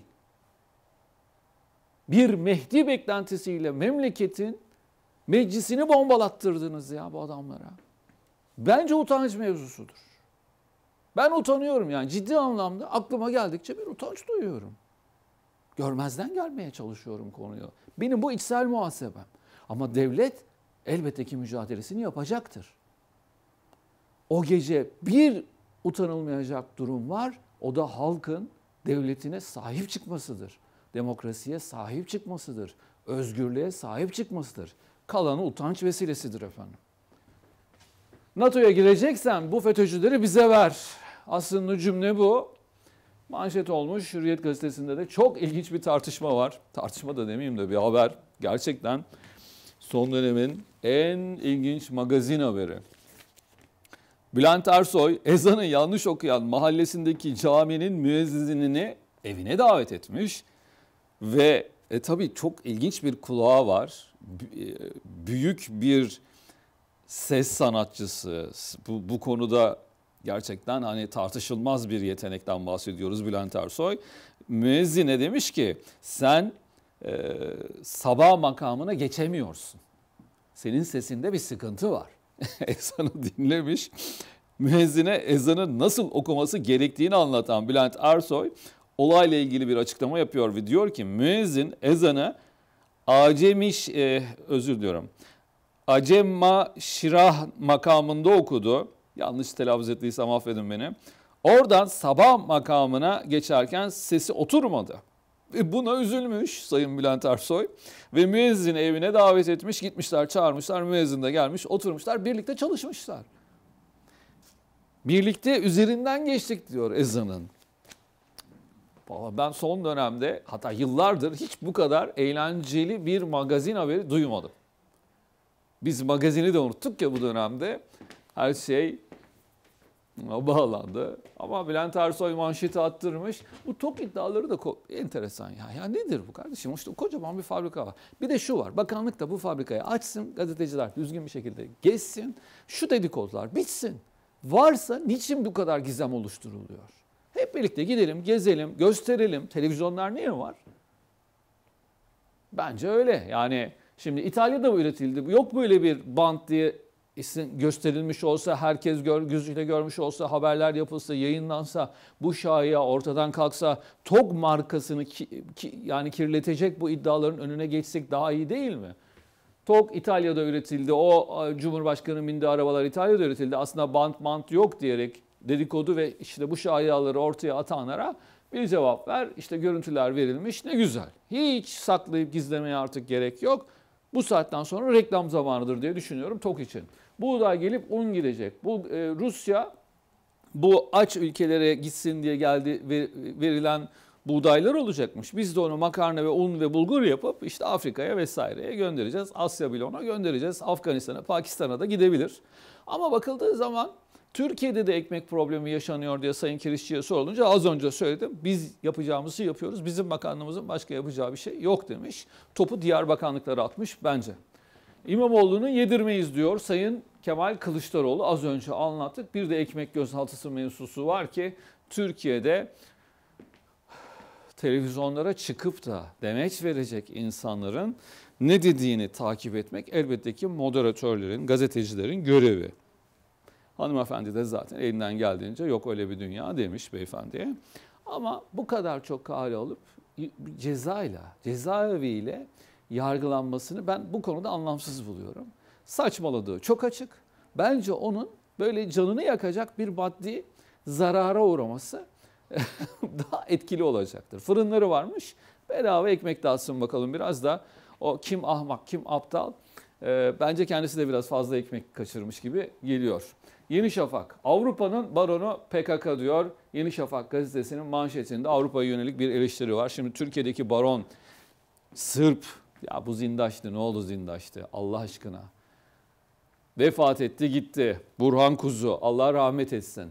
Ama cezaevinden çıkması için vatandaşlık verilsin diye o kadar çok iddia ortadaydı ki en azından bir gerçeği, bir yargılaması yapılıp ya şu şöyle olmuş denmeliydi. Zindaş'tı bu bölgenin en büyük uyuşturucu kaçakçısı olduğu söyleniyor ve bizim yeni hükümet modelimizin oluşturucusu bir anayasa profesörü tarafından Burhan Kuzu'dan bahsediyorum. Salı verilmesi için vatandaşlık şunu verilmesi için bunun verilmesi için hakimlere baskı yapıldığı iddiası konuşuldu, konuşuldu. Hakimler kabul etti ve ortada kaldı. Ve biz bugün Sırp mafyasıyla boğuşuyoruz memlekette.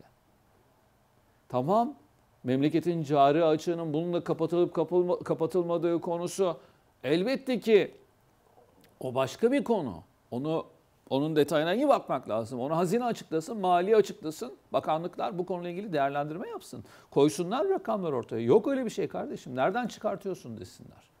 Ama bu ülkede uyuşturucunun arttığını söyleyen kurum Emniyet Genel Müdürlüğü.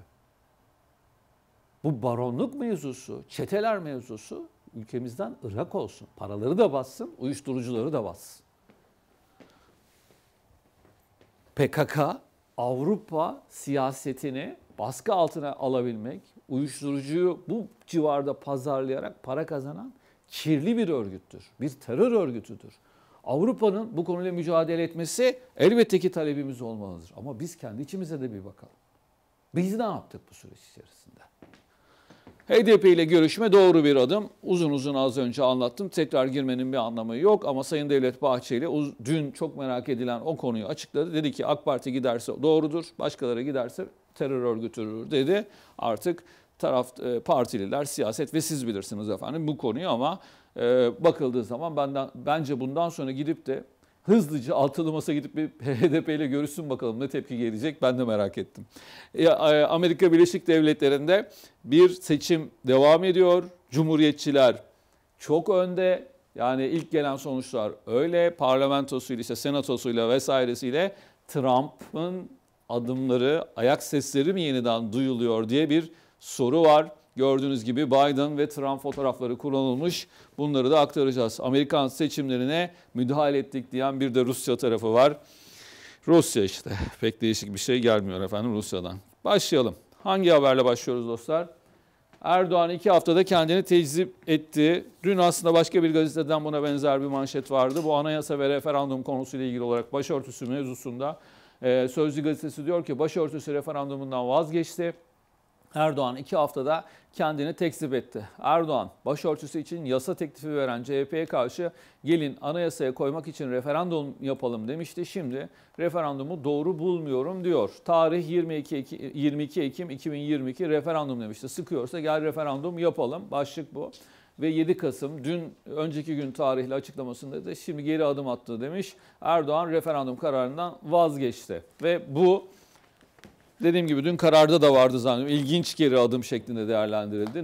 Nasıl bir gereklilik hissedildi de bu açıklamalara yol açıldı bilmiyorum. Ama sonuçta bu işin perde arkasında başka işlerin, başka konuşmaların belki de ittifak içerisindeki cümlelerin etkili olabileceği kanaatindeyim. Tabii ki doğrusunu yine Cumhurbaşkanı aktaracaktır. Şimdi Cumhurbaşkanı Recep Tayyip Erdoğan'a geçiyoruz. Hasankeyf Gercüş Tüneli açılış töreninde Ekonomiyle ilgili e, mesajları vardı. Vatandaşların kayıplarının mutlaka telafi edileceğini söylüyor Erdoğan.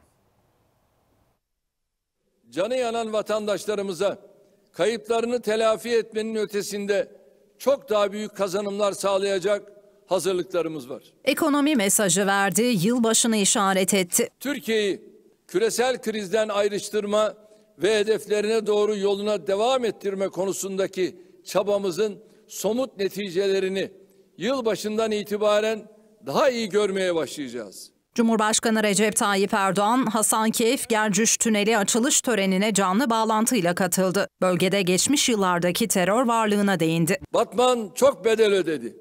Mardin çok bedel ödedi. Ve bu bedelleri artık ödemekten hamdolsun terörle verdiğimiz mücadeleyle bitirdik.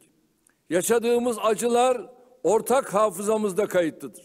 Dünyanın krizlerle boğuştuğunu, Türkiye'nin ise büyüme hedeflerini gerçekleştirmek için çalıştığını söyledi. Gelişmiş ülkeler dahi kaos endişesi içindeyken biz dostlarımızla giderek genişleyen bir kardeşlik çemberi kuruyoruz.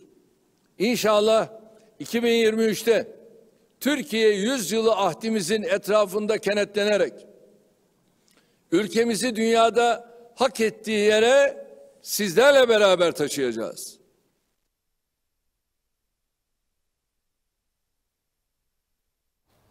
Ve Azerbaycan Karabağ Zaferi'nin ikinci yıl dönümü büyük bir coşkuyla kutlanıyor.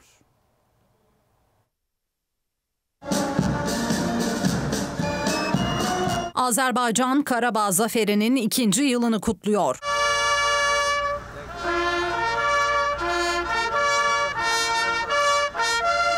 İki yıl önce bugün Karabağ Savaşı Azerbaycan'ın zaferiyle son buldu. Şehitlerin kanıyla kazanılan zafer bu yılda coşkuyla kutlandı. Yürüyüş öncesinde şehitler için saygı duruşunda bulunuldu. Azerbaycan Milli Marşı okundu.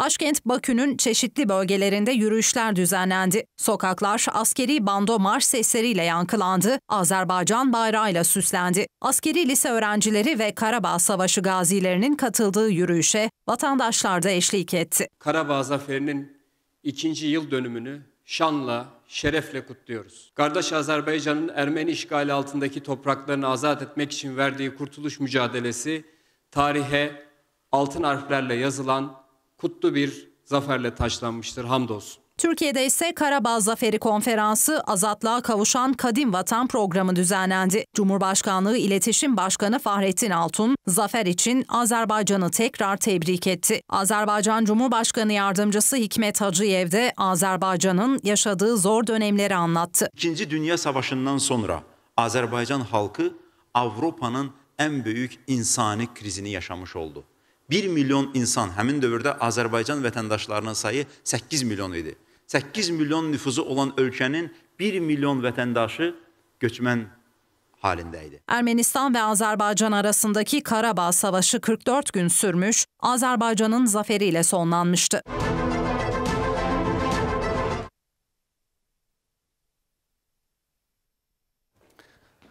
Çok yaşasın Azerbaycan, çok yaşasın Türkiye. Elbette ki bu iki devlet tek millet şiarıyla çok uzun zamandır bir mücadele vermeye çalışıyor. Türkiye tarafı da ta yani Turgut Özal'lar, Süleyman Demirel'ler o günden bugüne taşınan ciddi bir ilişki geliştirme hali var.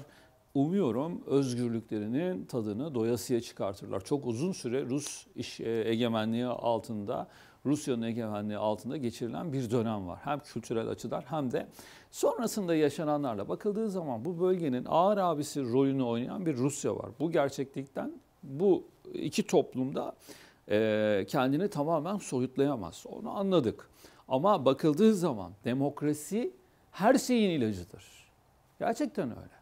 Azerbaycan için de demokrasi talebini umuyorum, dua ediyorum. Bütün bu coğrafya, Türk Cumhuriyetleri işte Türkmenistan'a e, vesairesiyle aklınıza neresi geliyorsa bu coğrafya içerisinde. Böyle diktatöryal dediğim dedik, kimseyi itham etmiyorum yanlış anlaşılmasın ama geçmiş acılarla dolu bu coğrafya için. Bakın Kazakistan'ı, Türkmenistan'ı yaşananlar ortada.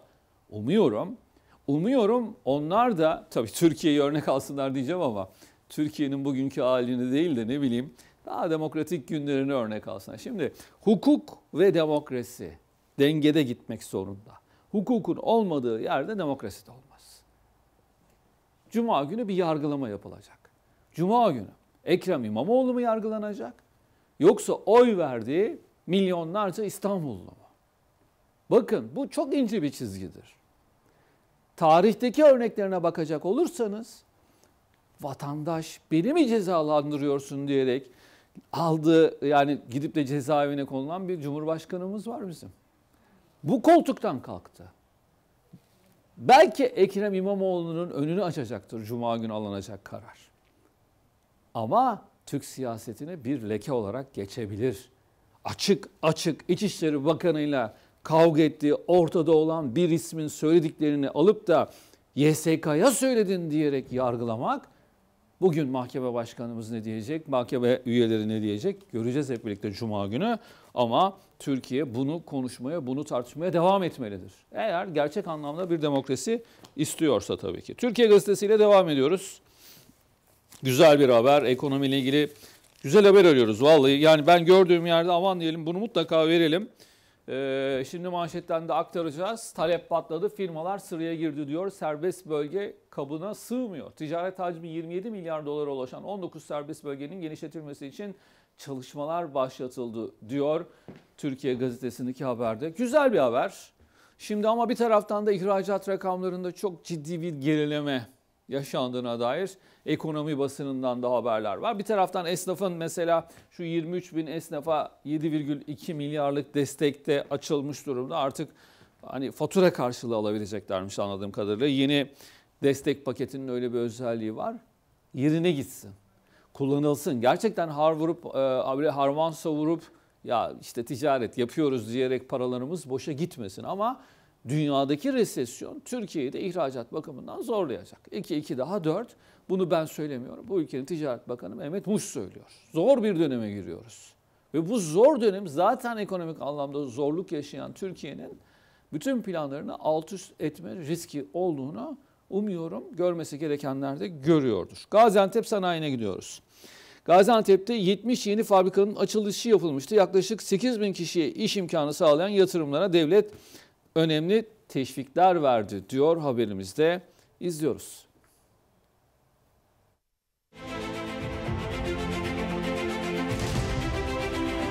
Kardeşlerim bugün Gaziantep'e özel sektör eliyle ülkemize kazandırılan 15 milyar 905 milyon lira bütçeli 70 fabrikanın resmi açılışını yapıyoruz.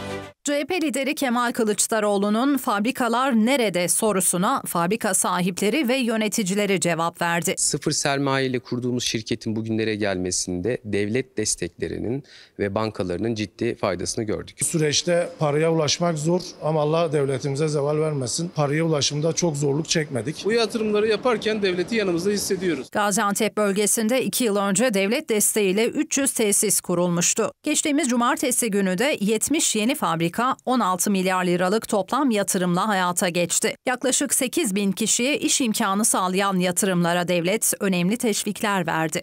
Biz bundan iki sene önce 300 fabrikanın açılışını yapmıştık. Şimdi 70 yeni tesisin açılışını yapıyoruz. Fabrikalar on binlerce kişinin ekmek kapısı oldu. Gaziantep'li sanayiciler yaptıkları yatırımları anlattı. Özel sektöre verilen desteğin önemi vurgulanarak teşekkür etti. Yaklaşık 472 çalışanımız var fakat yeni yatırımla birlikte bunun 600'e çıkmasını öngörmekteyiz. Yaklaşık 1 milyar 150 milyon TL civarında bir yatırım yaptık. 650 kişi yeni istihdam sağladık. Toplam olaraktan polyester ve halı üretim olaraktan 550 kişilik bir istihdam sağlıyoruz. Şu anda aşağı yukarı 70 kişiye istihdam sağlıyoruz. Tahmin olarak yani 100 milyon TL'ye yakın bir yatırım bedeli var.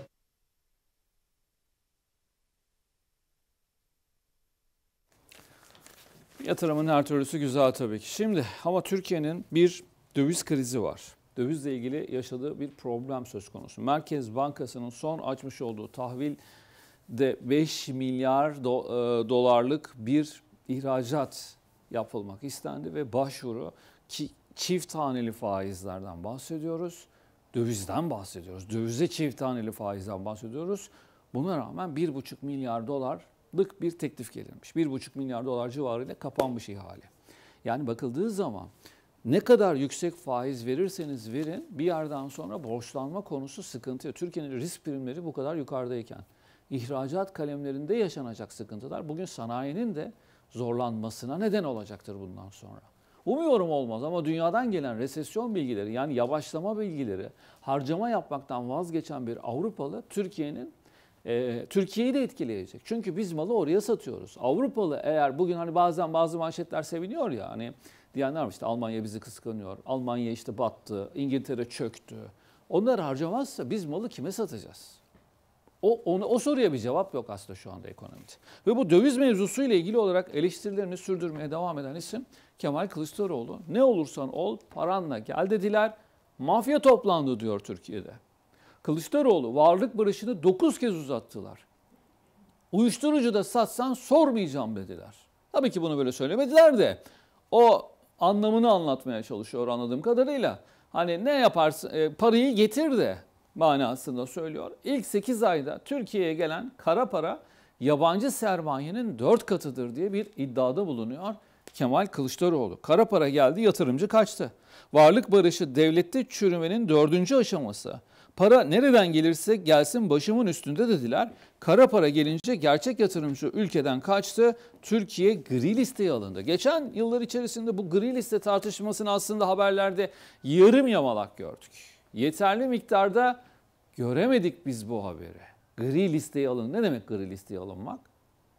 Biz bu haberi verdik. Ama Kemal Kılıçdaroğlu'nun bu yurt dışından kara para geliyor, uyuşturucu parası geliyor vesaire iddiasını bu kadar üst perdeden seslendirinceye kadar Türkiye'ye gelen paranın kirliliği biraz görmezden gelindi. Ama bugün siyasetin de, ekonominin de herkesin hani vardır ya herkesin bilip de söylemekten çekindiği, korktuğu bazı cümleler vardır. Bu gerçek mi sorusunu sormak lazım. Bu memleket bir Kolombiya, bir Venezuela, bir Meksika değil. Biz Amerika'nın arka bahçesi değiliz. Komşusu da değiliz. Uyuşturucu lanetinden uzak durmalıyız. O pazar, Avrupa pazarı vesaire bizi ilgilendirmez. Çünkü transit geçmesini de istemem. Ama hani transit geçmesinden daha çok artık ülkede kaldığına dair uyuşturucunun bir iddiası var. Hani bu burada kalsa iddia olsa sadece hiçbir şey demem iddiadır der siyaseten geçerim. Ama Emniyet Genel Müdürlüğü'nün açıkladığı rakamlara bakıldığı zaman met bağımlılığı denilen bağımlılık birken 10 olmuş. Bakın birken 5 olmamış. Birken 10 olmuş. Bir yıl içerisinde olmuş bu. Burada bir tehlike var. Bunu görmezden gelemeyiz. Siyasetin lakırdıları arasında yitip giderse gerçekten bir gün ülkeye çeteler çökecek korkusunu yaşayın. Metropoller çok büyük. İstanbul yönetilebilir olmaktan çıkıyor. Nüfusu fazla, yabancısı fazla, Turisti fazla, Suriyelisi fazla, Afganı fazla, Türk'ü fazla. Herkes İstanbul'a geliyor para kazanacağım diye. Ben bakıyorum bazen dolaşıyorum uçsuz bucaksız bir memlekete dönüştü İstanbul. Bu, bu şehir bu haliyle tek başına yönetilebilir bir halde değil. Buna ne polis yeter, ne jandarma yeter, ne asker yeter, ne güvenliği sağlayacak güç yeter. Ekonomiyi tartışmıyorum bile zaten. Ekonomik anlamda İstanbullu zor durumda. Peki şimdi Ağrı'ya gideceğiz. Bakın şu haberi gösterelim önce arkadaşlar. Bakım masrafı daha e, masraf, bakım masraflı can ucuz diyor Karar Gazetesi. Ağrı Tutak'ta yolcu otobüsünün freninin patlaması sonucu yaşanan kazada 7 kişinin can vermesi otobüsler, kamyonlar ne durumda sorusunu gündeme getirdi. Tekirdağ Namık Kemal Üniversitesi öğretim üyesi Profesör Doktor Serdar Osman Yılmaz'la konuşmaya karar. Yollarda kaçış rampalarının yaygınlaştırılması gerektiğini ifade ediyor ama şu başlık çok ilginç hakikaten. Bakım masraflı, can ucuz. Hep söylüyoruz. Türk'ün canı paradan daha kıymetsiz olmamalı.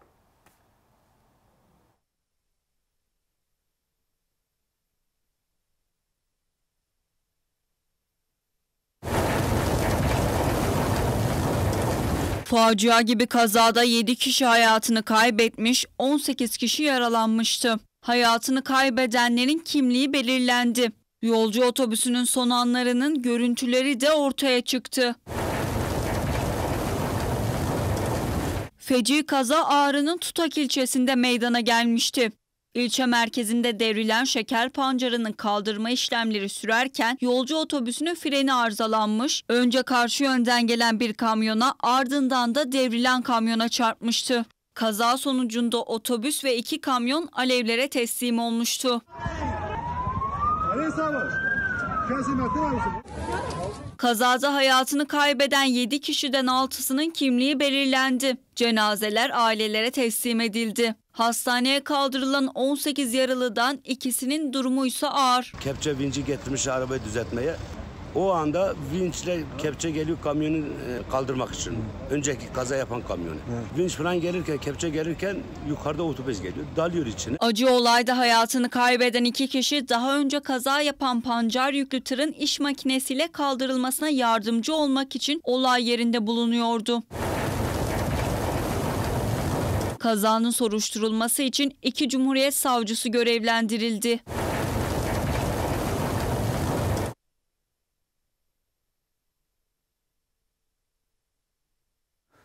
Ve Cumhuriyet Gazetesi ile devam ediyoruz. Terörle mücadele eden Mehmetçiğin sağlığını, güvenliğini sağlayabilmek için askeri hastanelerin, asker hastanelerinin yeniden açılması talebi var. Bu konuyla ilgili aslında Milli Savunma Bakanı'nın da bir açıklaması olmuştu.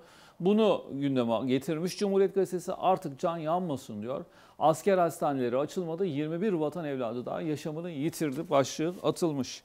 Bakan Akar'ın asker hastanelerinin açılacağına ilişkin sözlerine karşı adım atılmadı. Bu sürede 21 yaralı asker kaldırıldığı hastanelerde şehit düştü. Emekli bir yarbayla dikkatliyle bir röportaj yapılmış. Yanlıştan dönülmezse bu işin telafisi onlarca yıl alır. Çünkü sonuçta çok ağır yaralanmalarla ilgili e, özellikle ameliyatlarda deneyimli doktorların, cerrahların çalıştığı hastanelerde. FETÖ zehirlenmesi asker hastanelerinde kapanmasına yol açtı ama burada Mehmetçiğin özellikle bu hastanelere ihtiyaç duyuyorsa eğer acilen açılıp bu uzmanlaşma tekrar yerine getirilsin, sağlansın. Yani Mehmetçiğin hayatıyla öyle oynanmamalıdır elbette ki. Şimdi Türk Silahlı Kuvvetleri bu arada mücadelesini sürdürüyor. ZAP bölgesinde 11 terörist daha etkisiz hale getirildi. İşte o görüntüler.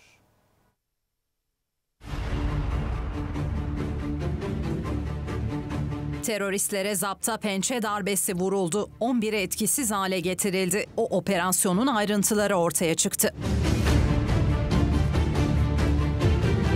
Irak'ın kuzeyindeki Zap bölgesinde bulundukları alanda sıkışan terörist grup bölgeden kaçmaya çalıştı. 11 kişilik terörist grubunun hareketlenmesi üzerine bölgeye komandolar sevk edildi. Teröristlerle sağlanan temasın ardından güvenlik güçleri teslim ol çağrısı yaptı. Ancak teröristler o çağrıya ateşle karşılık verdi. Çıkan çatışmada aralarında terör örgütünün sözde bölge sorumlularının da bulunduğu 11 terörist etkisiz hale getirildi. Operasyonda çeşitli modellerde 13 tüfekle roket atarın yanı sıra aksiyon kameraları ve gece görüş dürbünleri de ele geçirildi. Malzemeler böyle sergilendi. 2 adet Dragono keskin nişancı tüfeği. 2 adet sabit dipçik M16 piyade tüfeği. Milli Savunma Bakanlığı'nın sosyal medya hesabından yapılan paylaşımda ise teröristler için tek çıkış yolu Türk adaletine teslim olmaktır. Bölgedeki terörist temizliğimiz azim ve kararlılıkla devam edecek denildi.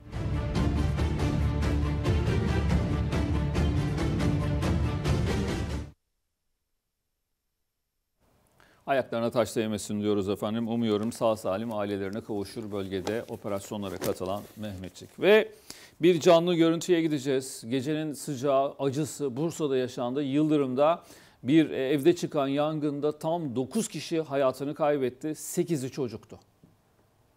Evet gündüz görüntüleri geliyor şimdi ajanslar tarafından canlı geçilen görüntüleri aktarıyoruz. Burası Bursa Yıldırım'da Yıldırım ilçesi Değirmenönü mahallesinde bulunan 4 katlı bir apartman. İşte drone görüntüleri de geliyor. Alt katta çıkan yangında üst katlarda mahsur kalan belki de uykuda yakalanıp aslında dumandan direkt zehirlenerek vefat eden 9 kişi var. Bunların 8'i çocuk ve bu 8 çocuğun 6'sı kardeş. 6 kardeş birden hayatını kaybetti. İki de kuzenleri o evde misafirmiş. Bu insanlar Suriye'den hayatlarını kurtarabilmek için Türkiye'ye gelen bir aile. Ama bu çocukların hepsi Türkiye'de doğdu. Tam 8 çocuk çünkü yaşlarına bakıldığı zaman en büyüğünün 10 yaşında olduğu söyleniyor. Ve bu insanlar yaklaşık 10 yıldır burada. Belki 10 yaşındaki Suriye'de doğmuştur da 3 yaşında, 5 yaşında yani çoğu Türkiye'de doğup büyümeye çalışan bu çocuklar dün Bursa'da bu yangında hayatını kaybetti. Gecenin en büyük acısı. Bir de kadın vefat etti. Bursa valisi Yakup Can Polat'ın açıklamaları var bu konuda. Yaşları 3 ile 10 arasında değişen 8 çocuğun hayatını kaybetti. İtfaiyenin ön tespitleri sobadan kaynaklanma ihtimalinin yüksek olduğunu gösteriyor diyor. Böyle bir açıklaması var ama en ince ayrıntısına kadar elbette ki soruşturmanın tamamlanması önemli. Ee, Allah'tan rahmet diliyoruz. Çok büyük bir acı. Allah bir daha göstermesin diyelim. Bu konuyla ilgili gelen haberlerimizi yayınımız içerisinde aktarmaya devam edeceğiz. Evet gelsin manşetimiz. Evet manşette ne var? Karar. Kararda ne var? Amerika Birleşik Devletleri seçimi. Amerika Birleşik Devletleri seçimi olur da Putin bir açıklama ya da Putin'in adamları bir açıklama yapmaz mı? Bu fırsat kaçırılmaz tabii ki. Amerikan seçimlerine müdahale ettik diye hava atıyor adam. Şunu Amerika'dan derin devlet falan diye böyle kapı arkasından bir şey gelse yıkılır ortalık. Yemin ediyorum yıkılır ortalık. Bugün Putin'in e, yani şefi ya Putin'in şefinden tarihi itiraf diyor Karar Gazetesi. Amerikan seçimlerine müdahale ettik. Bu arada yerel seçim devam ediyor ve ilginç bir başlık var. Trump'ın ayak sesleri yeniden duyulmaya başlanıyor bu seçim için. Acaba Trump'ı mı tercih ederdi Putin? Ne dersiniz? Bugünkü siyasetine baktığımız zaman tam anlamıyla Putin karşıtlığı sergileyen bir Amerikan yönetimi var. İşte son seçime, Trump'ın seçildiği seçime müdahale ettik diyor aslında. Ee, Rusya'nın yetkilisi Trump'ı Beyaz Saray'a taşıyan 2016'daki başkanlık seçimlerini Rusya'nın manipüle ettiğine ilişkin tartışmaları alevlendirecek kritik bir itiraf Moskova'dan geldi. Putin'in sağ kolu olarak görülen paralı asker şirketi Wagner'in kurucusu Yergey Projin sandığa müdahaleyi ifşa etti. Rus oligark müdahale ettik, ediyoruz ve etmeye devam edeceğiz demiş. Biz de diyoruz ki bravo, çok iyi yapıyorsunuz. İzleyelim haberimizi.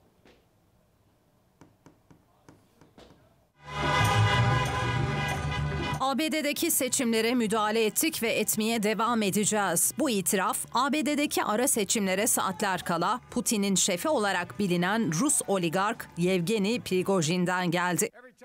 Prigojin bu sarsıcı iddiayı sosyal medya hesabından ortaya attı. Müdahale ettik, ediyoruz ve müdahale etmeye devam edeceğiz. Dikkatli, hassas, cerrahi bir şekilde ve kendi yöntemlerimizle ifadelerine yer verdi. Prigojin hem iki böbreği hem de karaciğeri aynı anda alacağız diye yazdı. ABD tarafından seçimlere müdahale etmekle suçlanan Rus oligark şimdiye kadar tüm iddiaları reddediyordu. Bu itirafıyla o suçlamaları doğrulamış oldu.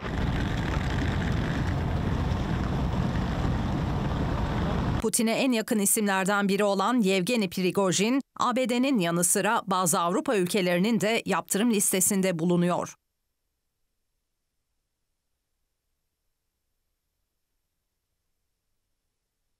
Uzun zamandır açıklayan, açıklanmayan bir veriyle ilgili haberimiz var efendim. Biliyorsunuz Covid-19 mücadelesi çok azaldı. Artık herkes unuttu ama ben hala görüyorum İstanbul'da maske kullanımı bu ara artmış durumda. Çünkü hastalık da artıyor.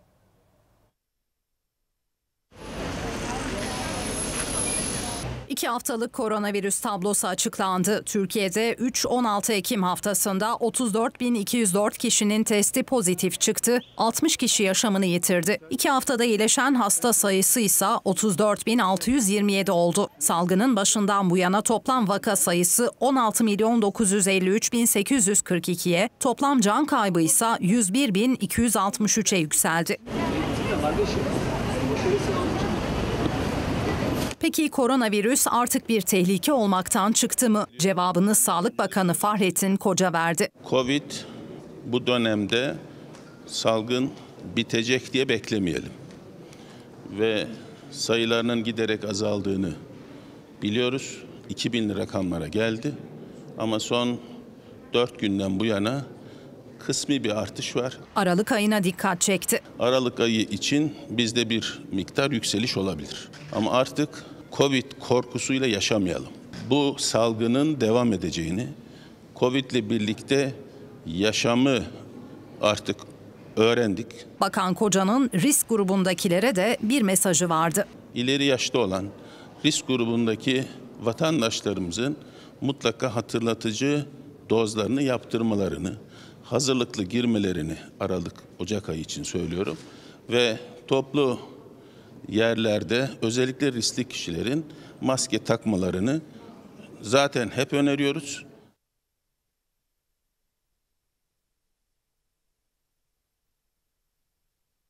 Ve spor. Bu bölümü de sporla kapatacağız. Fanatik gazetesinin manşetinde Galatasaray var. Icardi, Raşika harekatı. Şimdi bu insanlar belli bir oranda kiralık geldi. Bu arada kiralık gidenler var. Mustafa Muhammed Fransa'da gol üzerine gol atıyormuş. Galatasaray gönderdiği golcüsünü takip ediyor. 6 milyon euroluk bir de satış bedeli varmış. Nans'ın Mustafa Muhammed'i almaya niyetlendiği ifade ediliyor gelen haberler ve Türkiye'ye gelen kiralık gelenlerle ilgili de satın alma opsiyonları e, tabii ki bugün konuşuluyor. Icardi ve Raşika hareka, harekatı diyor Fanatik gazetesi. Cesus varsa sorun yok. Fenerbahçe'de atılan manşet bu. Kartal yara saracak. Aslında bu konuyla ilgili en önemli bilgiyi Fotomaç gazetesinden okuduk. Stoper istiyorum diyor. Te, e, deneyimli teknik adam Sayın Şenol Güneş. E, Beşiktaş'ta stoper harekatı başlatacak gibi görünüyor ama Taliska Beşiktaşların bence en önemli silahı olabilir. Çok gerçekten çok değerli bir futbolcuydu. Gidişi Beşiktaş'a zarar verdi. Gelişiyle de güç katacaktır diye düşünüyorum. Cengiz Aslan'a koşuyor. Önemli bir isim.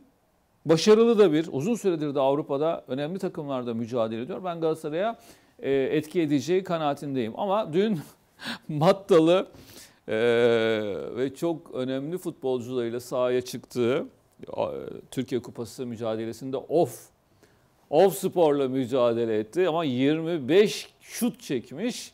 2-1 zorla kazandı. Turu geçti Galatasaray. Geçti ama hala bir şeylerin tam olarak çalışmadığı aslında yedek takım tabii dün sahadaydı. Hala bir şeylerin tam olarak çalışmadığı da ortaya çıkmış oldu diye düşünüyorum bir Galatasaraylı olarak. Evet bizden bu saatlik bu kadar. Ee, önümüzdeki saat dilimi içerisinde ekonomiyi konuşacağız. Çok başlığımız var. Sevgili Erdal Özel'le konuşacağız. Türkiye'nin ekmek ve un problemi mi yoksa dünyaya yapılacak yardım mı? Bakanlık her şeyi yapıyor mu? Emin mi bakan bu konudan? Neler yapılmalı bunu konuşacağız. Sizin ekonominizi konuşacağız. Lütfen bizimle kalın.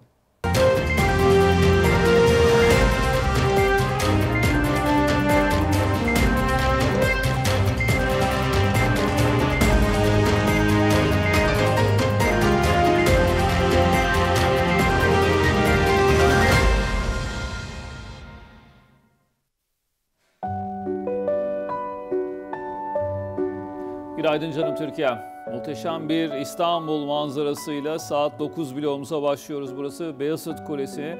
Meteoroloji Kulesi olarak da bilinir aslında. Tarihi bir yerde İstanbul Üniversitesi'nin içinde o bölgede bu kulenin üzerine yerleştirilen bir İstanbul Turizm Kamerası. Gördüğünüz Ahırkapı ve Zeytinburnu ve Atıköy açıklarındaki o gemiler boğazdan geçmek için bekleyen, sırasını bekleyen pek çok ticari gemide buraya demir atıyor. Bir müddet bekledikten sonra Karadeniz'e doğru geçiş yapıp gidiyorlar. Yani ticaret gördüğünüz gibi aslında devam ediyor ama yeni gelen bilgiler özellikle ihracat rakamlarında bir gerileme olduğu, çarkların dönme konusunda önümüzdeki dönemde bir sıkıntıya hasıl neden olabileceğini bize gösteriyor. Bu rakamları konuşacağız, ekmeği konuşacağız.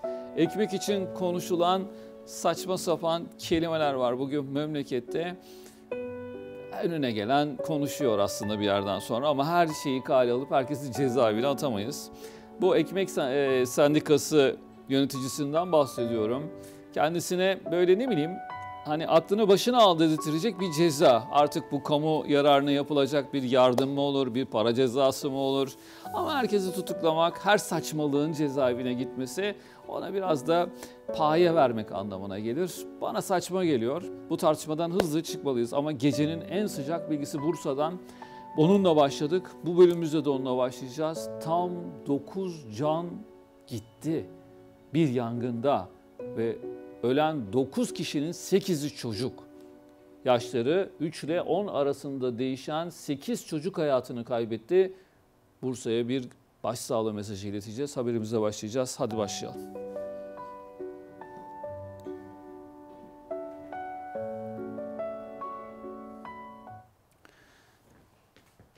Gerçekten çok acı bir şey yaşandı Bursa'da. Dün gece saatlerinde yani tam gece yarısı civarında 4 katlı Yıldırım'daki 4 katlı bir apartmanın giriş katında başlayan yangın yukarıda yaşayanları esir aldı. Şimdi yanarak deniyor ama anladığım kadarıyla dumandan zehirlenen tam 9 can hayatını kaybetti. Suriyeli bir aile. Savaştan kaçarak sığındıkları Türkiye'de böyle bir faciayla karşı karşıya kaldılar. Allah'tan rahmet diliyor. Çocukların öldüğü bir faciadan bahsediyoruz. Şöyle İslam'dan da göstereyim. İslamcı bir rica edeceğim yönetmenimden de. Ee, yangın faciası 8'i çocuk 9 ölü diyor. Milliyet Gazetesi'nin sür manşetine yetiştirmiş. Bugün Milliyet Gazetesi Türkiye gece yarısı Bursa'dan gelen acı haberle sarsıldı. Elbette ki tüm detaylarıyla soruşturuluyor soruşturulacak. Arkasında bir bit yeniği var mı yok mu? Umuyorum öyle bir şey çıkmaz. Ama e, tertemiz bir şekilde soruşturmanın tamamlanması lazım. Bir sobadan çıktığı ifade ediliyor. Allah'tan rahmet diliyoruz bu saatten sonra ve e, sabır, sabır ama hani 9 can birden bir anne ve altısı kardeş 8 çocuk gitti. Zor, zor bir gündeme sahibiz. Bunu anlatacağız ama önce bir işlerimizi halledelim. Manşetlerimize baş manşetlerimizi aktaralım. Erdal Bey de bekliyor. Ekonomiyi konuşacağız. Bursa'yı da tabii ki takip ediyoruz. İstanbul bugün 18 derece olacak. Parçalı bulutlu bir hava var. Sadece sis batı bölgesinde biraz etkili. Doğuda ve Çukurova bölgesinde ise hafif yağmur geçişlerinden bahsetmek mümkün. İzmir 22 derece olacak efendim. Parçalı bulutlu. Antalya'da 24 derece görüyorum. Sıcak bir Antalya var yine de 9 Kasım'a göre. 16 dereceye kadar geriledi Ankara'da sıcaklık. Bulutlu bir hava var. Gece ise 6 derece. Doğu Karadeniz bölgesinde yağış geçişleri var. Trabzon bölgesinde 16 derecelik bir sıcaklık yine de çok ısınmıyor tabii bu bölgede. Çukurova bölgesinde ise Adana'da 23 derecelik bir sıcaklık var. Par bulutlu bir gündem. Hatay'da ise yağmur bekleniyor. 20 dereceye kadar gerileyecek. Doğu ve Güneydoğu Anadolu bölgesinde kapalı yağmurlu bir hava var. Bugün Şanlıurfa 17 derece, Van 12 derece ve Diyarbakır 16 derece olacak. Hakkari'de ise gündüz sadece 9 derecelik bir sıcaklık olacak. Yarın yarın sis artıyor. İç Anadolu bölgesinde de sis etkili olacak. Ee, ve başkent Ankara'da, sisli Ankara'da 16 derecelik bir sıcaklık. Doğuysa yağmur geçişleri biraz daha genişliyor bölgede. Marmara'da ise hala yağmur yok. İstanbul'un barajları artık yavaş yavaş ben alarm vermeye doğru gidiyorum diyor. Onu da takip ediyoruz elbette. Ve manşetlerimiz. Ben de ben de bir taraftan müsaadenizle şuradan manşetlerimi açayım. Güvenlik kaygılarımızı giderin. İsveç Başbakanı'na söylüyor bunu Cumhurbaşkanı. PKK ve FETÖ ile mücadele için NATO'ya girme şartı olarak öne sürdüğümüz bu terör örgütü unsurlarının Türkiye iadesi ve o ülkede kazanç sağlamalarının, siyaset yapmalarının, siyaset demeyeyim de hani terör örgütüne bağlı gerçekten teröristlerin Türkiye'ye iade edilmesi konusunda ısrarcıyız. İsveç Başbakanı Ankara'ya gelmiş ve Türkiye'nin gönlünü kazanmak konusunda ne demesi gerekiyorsa onları dedi. Ee, Türkiye burada artık yapılacaklara bakacak gibi görünüyor. NATO süreci adım adım ilerliyor. Bu açıklamaları aktardık. Muhalefet cephesinde Ekrem İmamoğlu tartışması önemli bir noktada çünkü artık çok az kaldı karara. Cuma günü karar duruşması. Görevden alınan bir hakim ve o hakimin neden görevden alındığına dair iddialar bugün bu cenahı, muhalefeti, Cumhuriyet Halk Partisi'ni, altılı masayı ayağa kaldırmak üzere. Mahkeme başkanının bana seni terfi ettirelim ama iki yıldan fazla ceza ver ve Ekrem İmamoğlu'nu siyasi yasaklı hale getir dediği iddiası bugün gazeteciler tarafından paylaşılıyor. Cumhuriyet Halk Partisi lideri Sayın Kemal Kılıçdaroğlu da gündemindeydi. Ve dedi ki Ekrem İmamoğlu'nu yedirmeyiz. Boğazınızda kalır. Türkiye Cumhuriyeti hukuk sisteminin değişmez bir yarası. Siyasetçiler dedikleri üzerinden, yaptıkları üzerinden siyasi yasaklı hale gelmesi. Bundan ne kadar?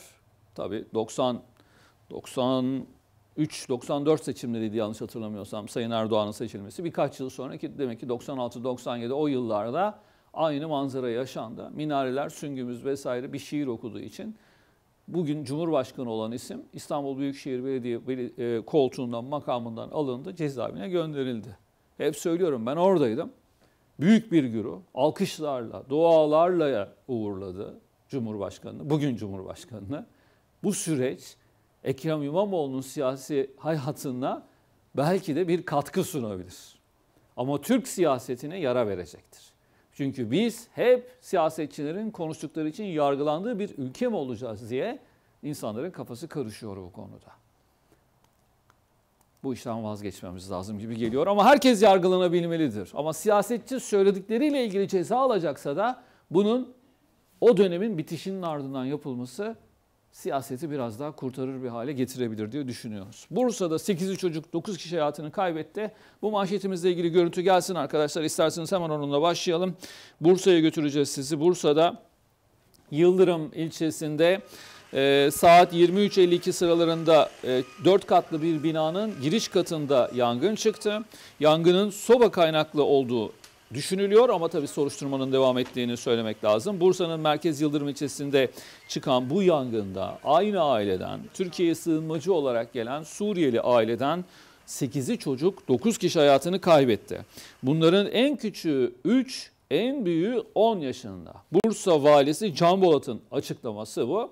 Ee, bazı e, iddialar şu şekilde 1 yaşında bir çocuk var, 11 yaşında bir çocuk var deniyor ama resmi açıklama bu istikamette gecenin sıcağı. Açıklama geliyor mu arkadaşlar? Şimdi e, bu tabii soruşturma önemli. Bir sobadan çıktığı ve dumandan zehirlenerek, boğularak hayatını kaybettiği ifade ediliyor.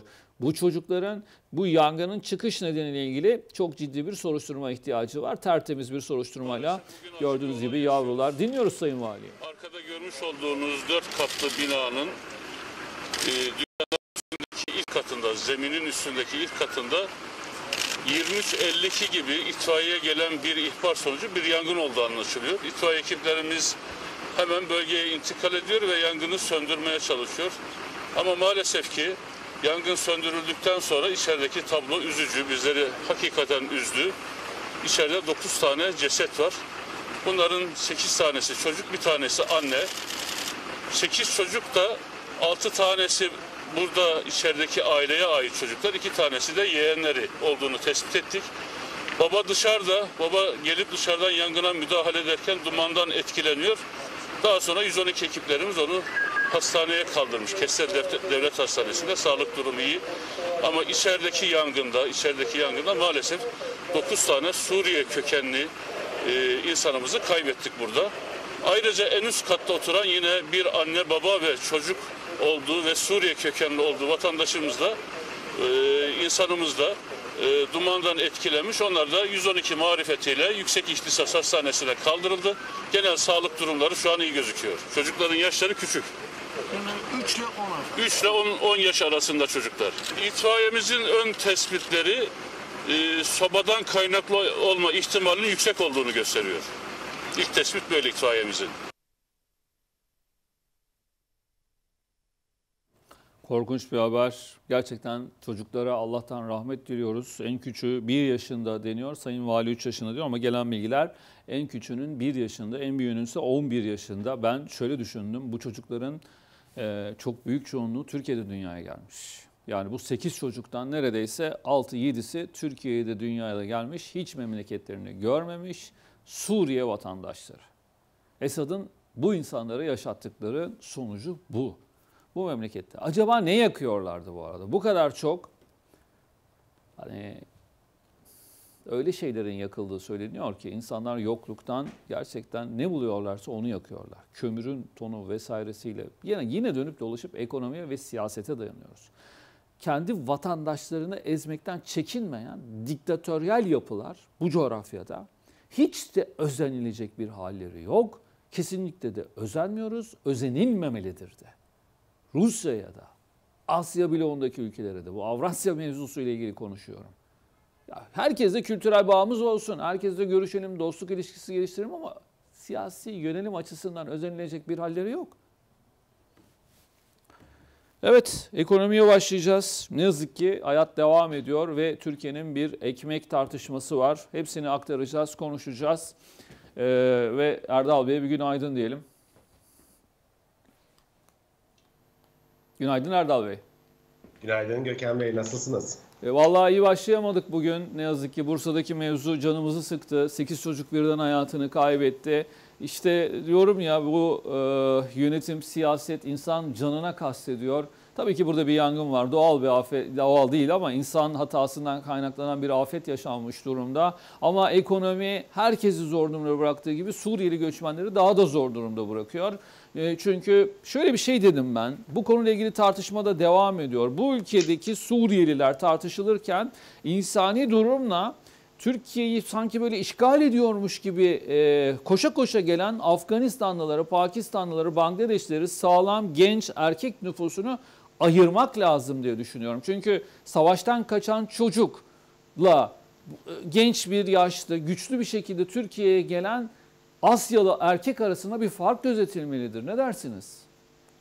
Ben yıllar önce e, yani yaklaşık 6 yıl kadar önce evimi İstanbul'dan Konya'ya taşıdım. E, Konya'ya taşırken tabii bir nakliye şirketiyle, bir lojistik şirketiyle anlaştım ve eve taşımacılar geldiler. E, Suriyelilerdi. Böyle çat pat Türkçe konuşuyorlardı. Biraz sohbet ettik. Savaşta yeni başlamıştı o zaman. Birkaç yıl olmuştu başlayalı. Durumu anlamak için sorular yönelttim. Aldığım cevap beni gerçekten şok etmişti ve o günden beri e, hepsine aynı gözle ne yazık ki bakamıyorum Suriyelilerin. E, çünkü ailesinin orada olduğunu, kendisinin çalışmak için Türkiye'ye geldiğinden evet. bahsetmişti. Ne yazık ki bu acı verici bir durum. Yani e, Suriyelilerin hepsi savaş mağduru değil. E, gelen görüntüleri hepimiz takip ediyoruz. Suriye'nin belli bir bölgesinde savaş var ama neredeyse tamamından insanlar buraya geldiler, çalışmaya geldiler. Bir de sömürüyoruz. Ee, İşin korkunç tarafı, korkunç gerçekliği bu. SGK diyor ki e, kardeşim o kadar insan çalışmıyor. Yani prim yatmıyor. Ben işte şu kadar adam çalışması lazım ki ben sana emekli maaşı vereyim. E, milyonlarca Suriyeli kaçak çalıştığı söyleniyor. Hatta Türkiye'nin işçisine yol gösteriliyor. Bak bu paraya çalış, şöyle çalış, sigortasız çalış yoksa Suriyeli'yi getiririm. Yani bir yerde böyle bir hal oluştu Türkiye'de nereden bakarsak elimizde kalan bir durum zaten bu. Yani ben bu az önce söylediğim olayı analiz etmeye devam ediyorum. Kafamda içinden çıkamaz hale geliyorum. Çünkü ben fatura mukabilinde evimi taşıttırdım. Ee, oraya gelen işçilerin sigortalı olması lazım ama o dönem geçici vatandaşlık da yoktu. Bu insanlar sigortasız bir şekilde benim ev eşyalarımı taşıdılar.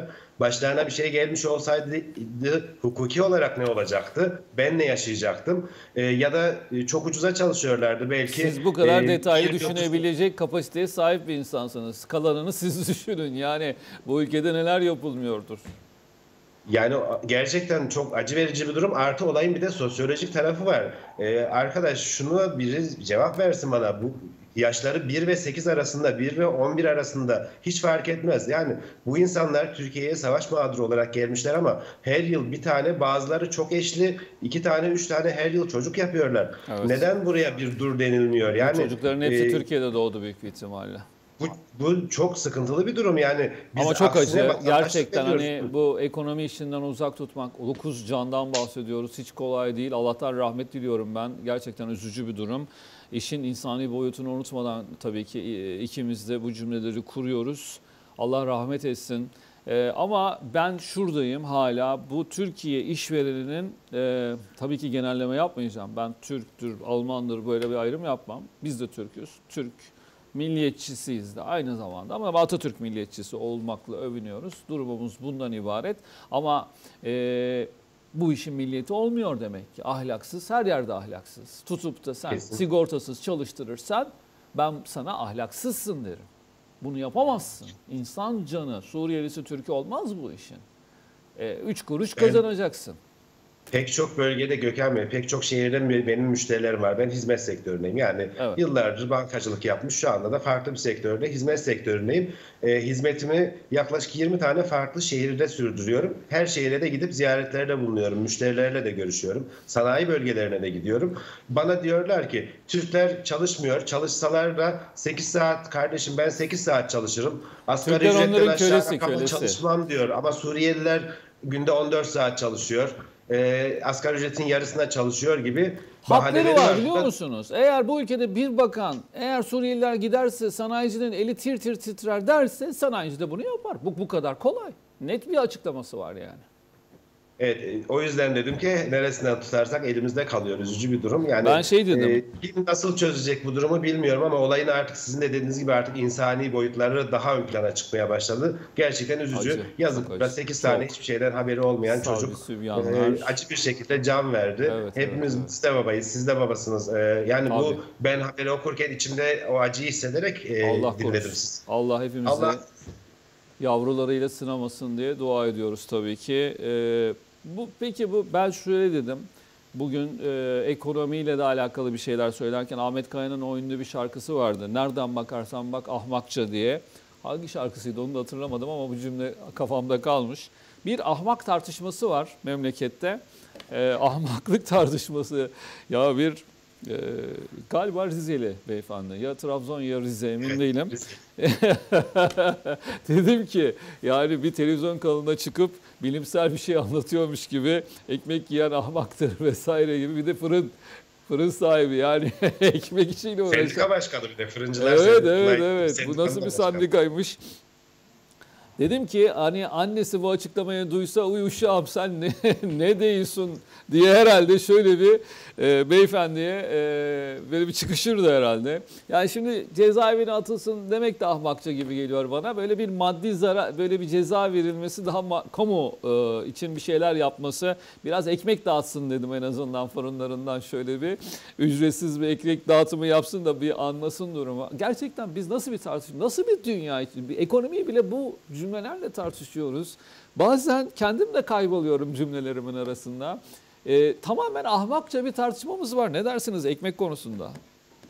Ben normalde e, sizde de şahit oluyorum. Kendi konuşmama çok fazla güvenirim. Yani uzun zamandan beri eğitim verdiğim için, ekranlarda olduğum için konuşmama çok fazla güvenirim. Akıcı konuştuğuma inanırım. Ama bazen belki izleyiciler de fark ediyordur, siz de fark ediyorsunuzdur. Bazı yerde böyle bir duruyoruz, yani cümle devrik oluyor. Aslında orada söylemek istediğimiz kelime farklı oluyor. Dezenformasyon yasası çalışmaya başlamış. Siz yine de kelimelerinizi dikkatli seçin. Yani çünkü gerçekten az önce dediniz ya Ahmet Kaya'nın şarkısı gibi bazı şeyler gerçekten ahmakça gitmeye başladı.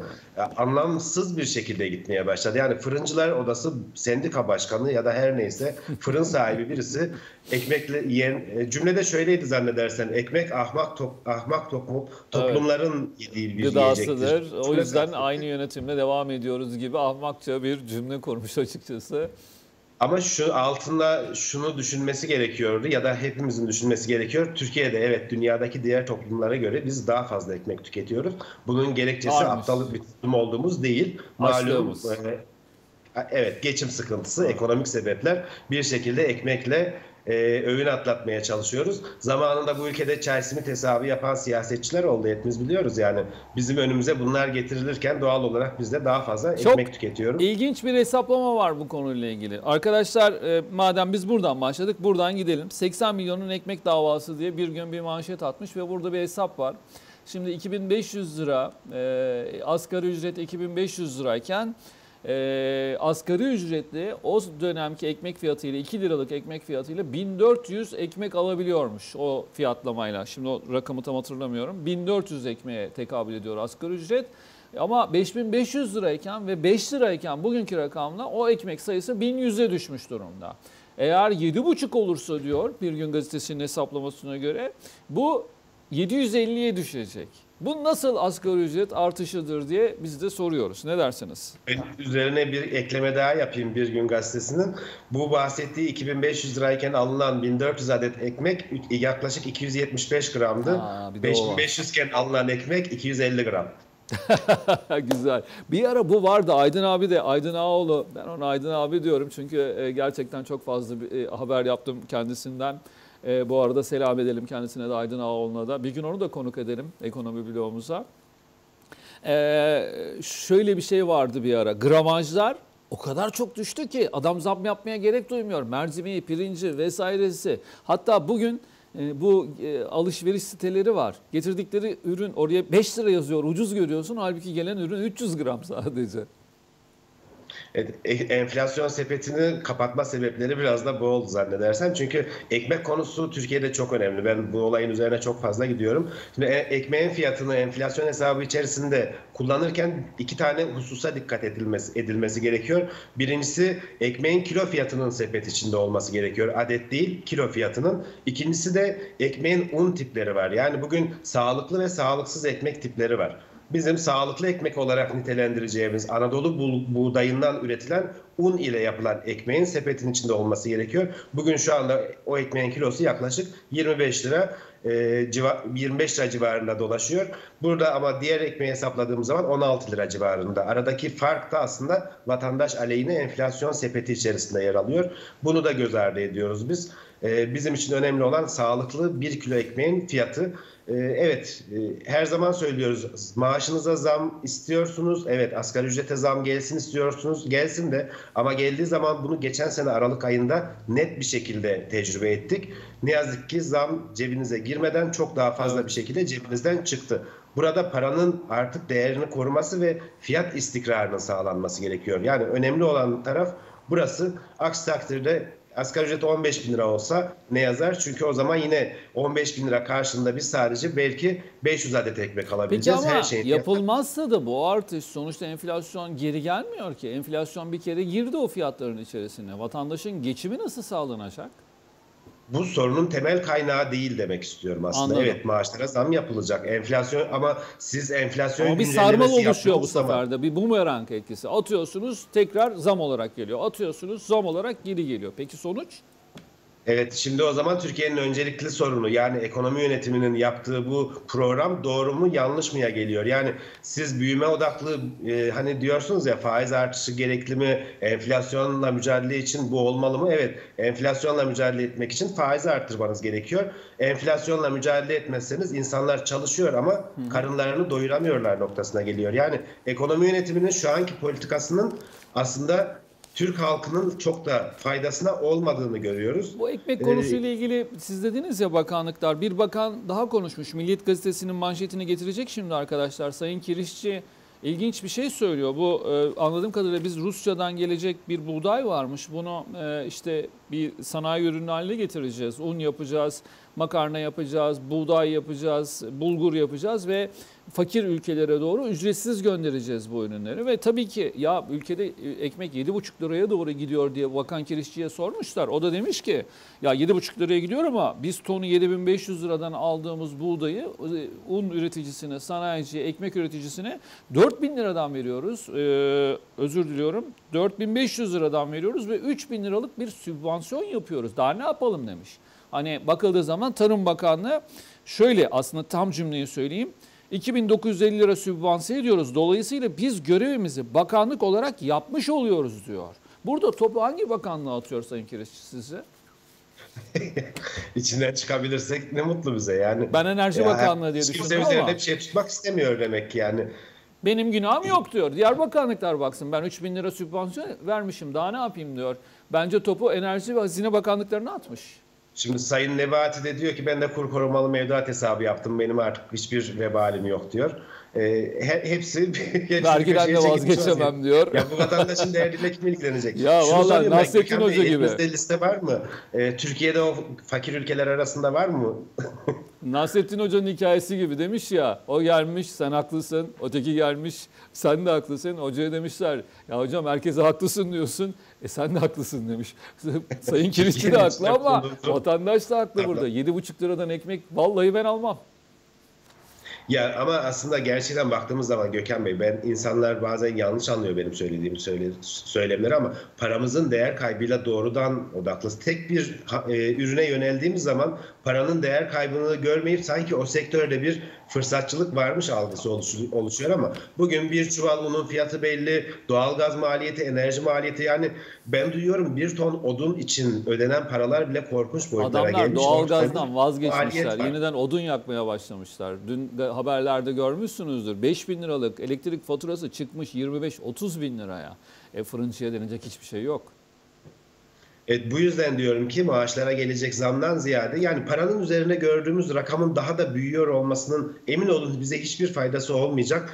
Önemli olan o parayla ne kadar dolar aldığımız. Temelde sorun e, Türk lirasının aşırı değer kaybı ve Burada- doların şu an Şunu yapılmalısını öneriyorum. Bunu ciddi ciddi de öneriyorum. Çünkü bütün dünya bunu tartışıyor. Süper zenginlerden süper vergi almak.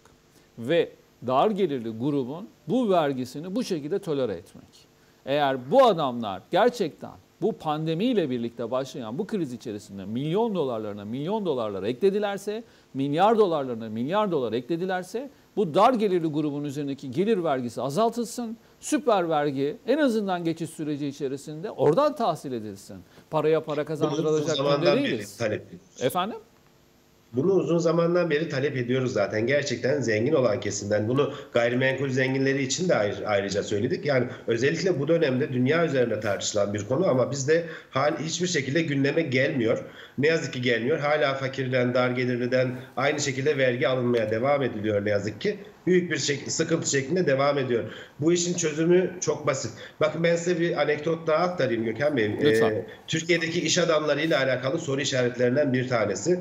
Bir müşterim e, hatta akaryakıt istasyonu sektörünü de söyleyeyim. Ben ürünlerime e, yani çok ufak bir miktarda zam yapmak zorunda kalıyorum. Çünkü yapmam gereken kadar zam yaptığım zaman ya rekabete e, maruz kalıyorum ve satışım azalıyor ya da farklı bir şey ortaya çıkıyor. Müşterilerimden çok fazla tepki görüyorum ama makul oranda zam yapmaya özen gösterdim. Bu oranda %50 civarında enflasyonun çok çok altında bir e, zam oranı. Yani 6 aylık enflasyondan bahsetmiyorum. Yaklaşık 2 yıllık zam oranım, oranım benim.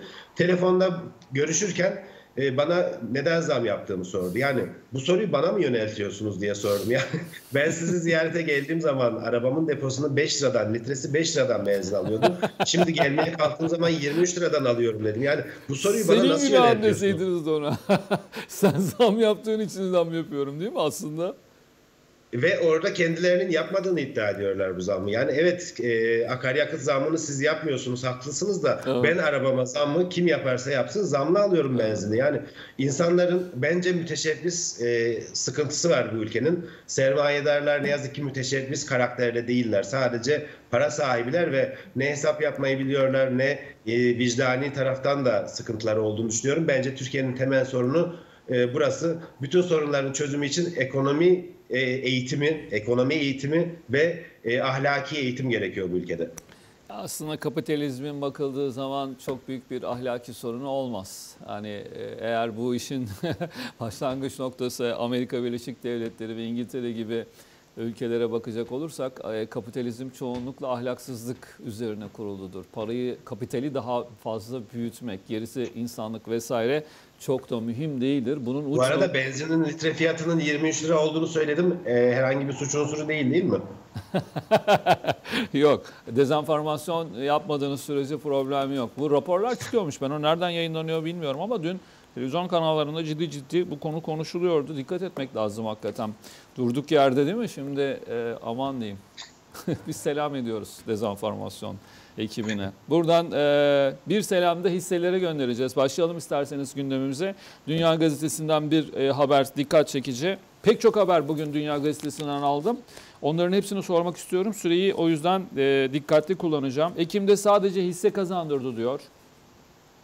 Yatırımcısına Ekim ayında reel getiri sağlayan tek finansal araç hisse senedi oldu. BIST %4260 reel art, e, özür diliyorum %4,26 reel artış kaydederken dolar %5.90 mevduat faizi vesaire diye devam ediyor.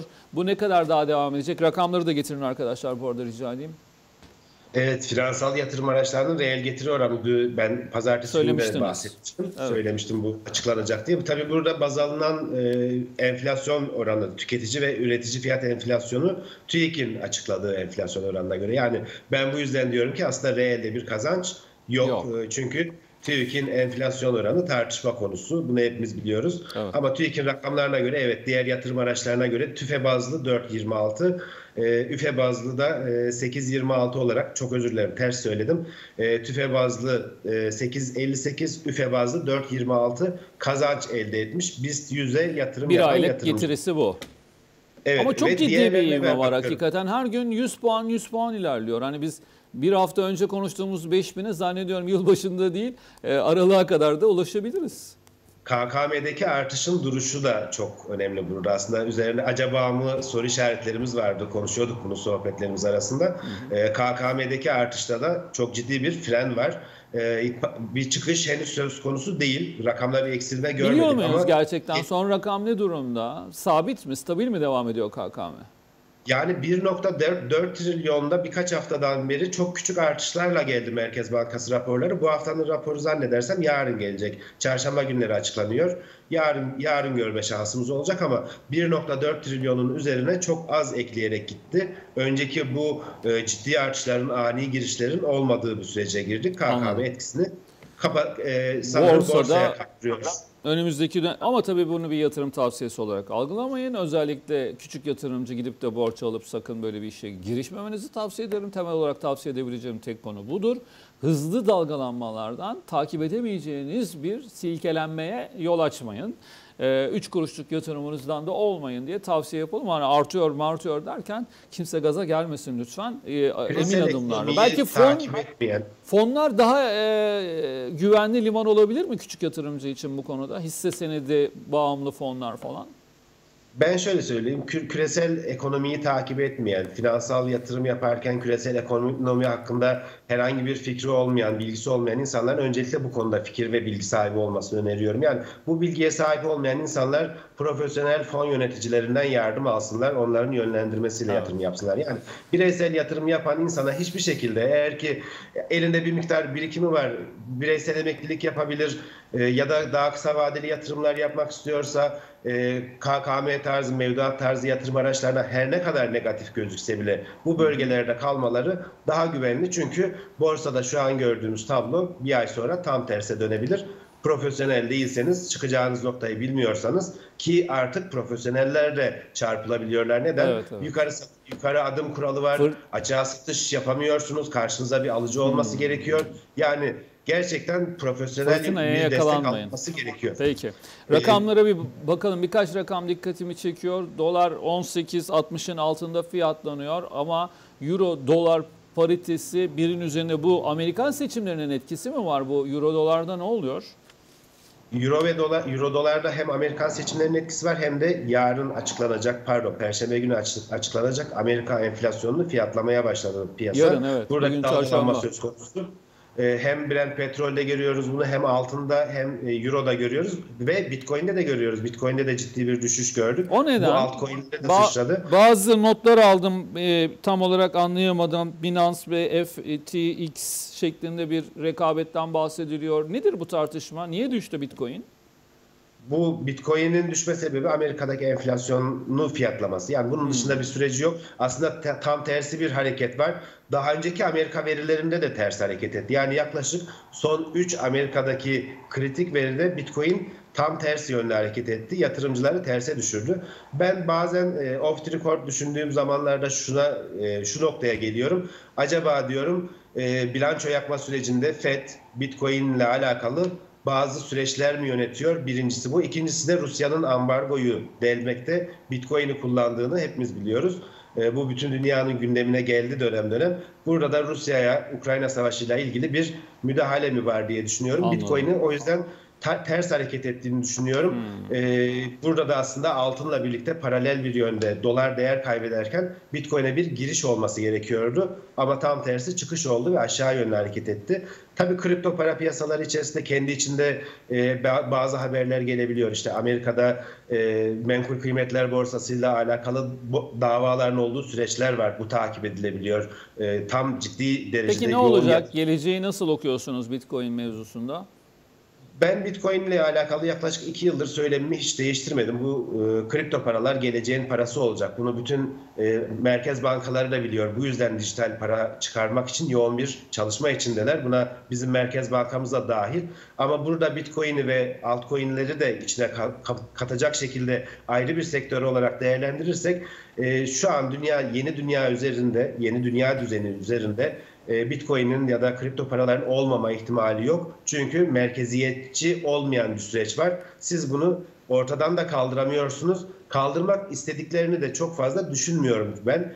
E, bazı ülkeler bunu resmi para birimi olarak kabul etti. Kimdi bu? E, Amerika Birleşik Devletleri'nin hemen dibinde küçücük bir ada ülkesi. Dünyada ismini bilmeyen pek çok insan var. Haritada yerini gösteremeyecek pek çok insan var. Ama birdenbire Bitcoin'i resmi para birimi ilan etti Amerika'ya rağmen.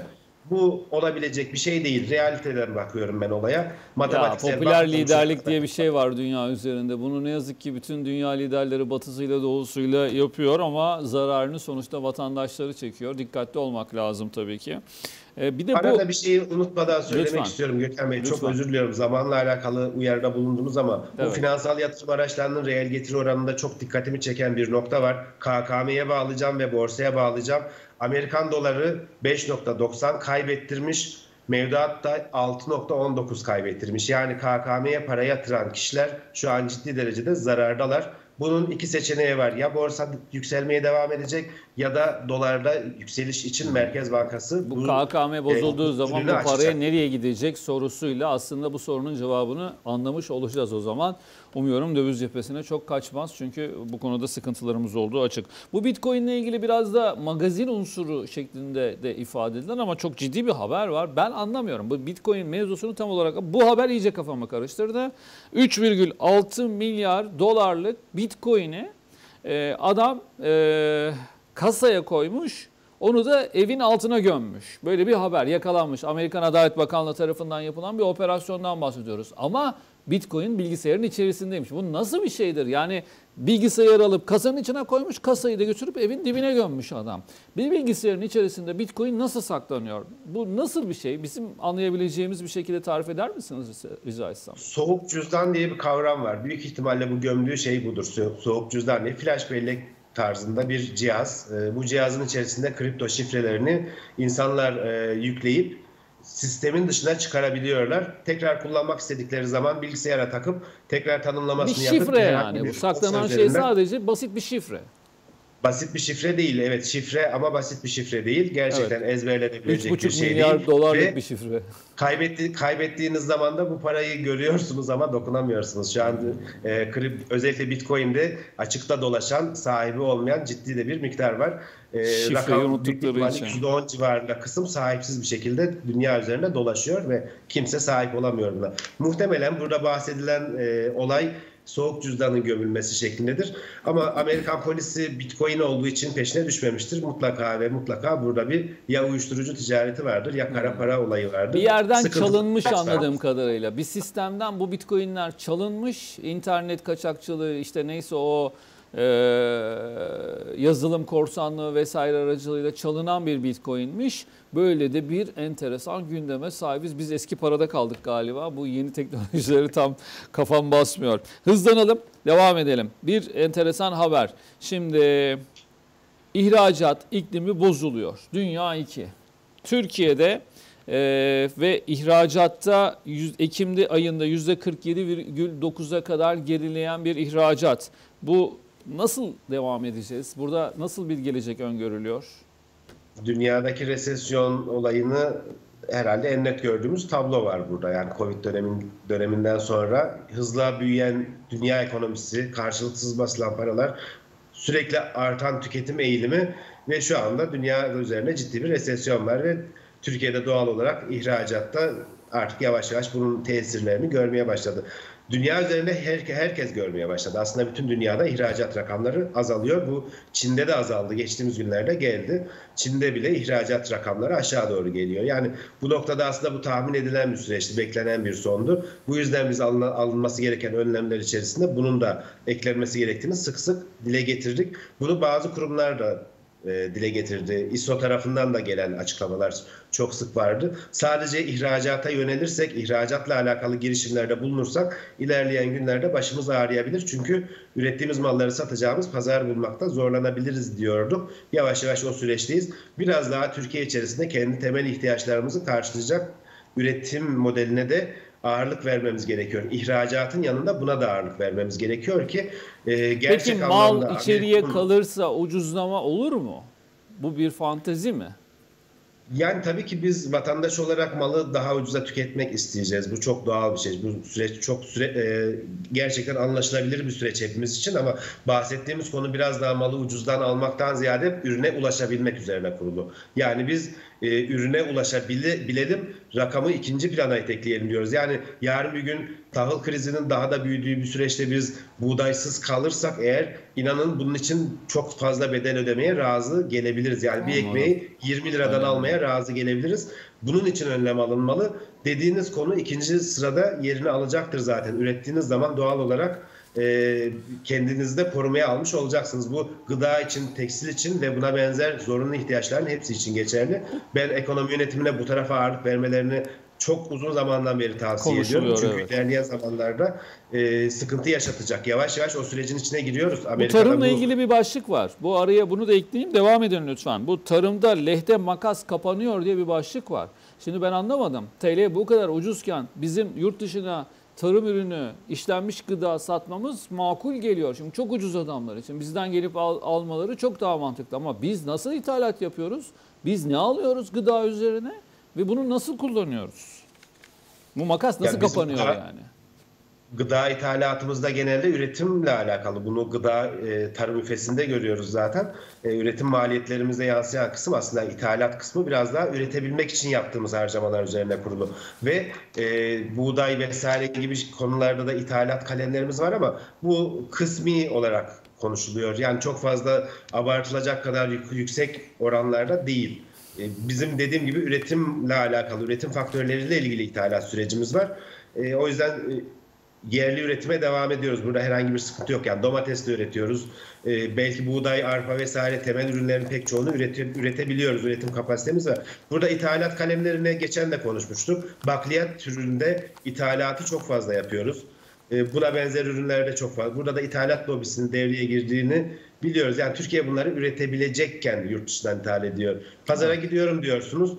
Ee, sarımsak e, mesela sarımsak Çin'den çok e, bir dönem çok fazla Ama sen ekme kardeşim ben daha ucuza vereceğim bunu deyip çiftçiyi bu işten vazgeçirdikten sonra elin Kanadalı çiftçisine milyarlarca dolar para göndermek gerçekten çok da akıl kârı bir yönetim olmadı. Değildi. Yani o yüzden diyorum ki daha ucuza almak olmamalı bizim ilk hedefimiz. Ya kendi ürünümüzü almak olmalı ki ilerleyen Evet, günlerde belki kısa vadede zarar görebiliriz ama uzun vadede bunu görürüz.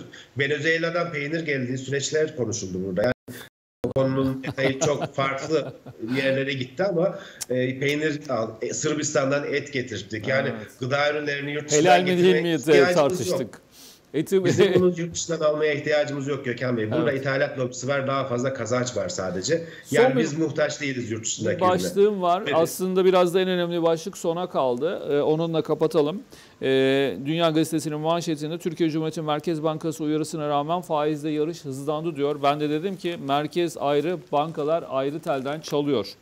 Ee, arda arda bankalar rekor negatif faizli zorunlu tahvil karşılığıyla uzun süre bilanço riski taşımak yerine yüksek faizde kısa vadeli mevduat toplamaya yöneldi. Ve elindeki mevduatı da tutabilmek için %30'ları da aşan oranlarda faiz dağıttığı ifade ediliyor. Ocak ayında bu şey rakamları tutturabilmek için çok ciddi mevduat faizi verdiği ifade ediliyor. Ama Merkez Bankası da vermeyin kardeşim diye bir baskı yapıyor anlayabildiğim kadarıyla. Ne olacak bu tartışmanın sonu?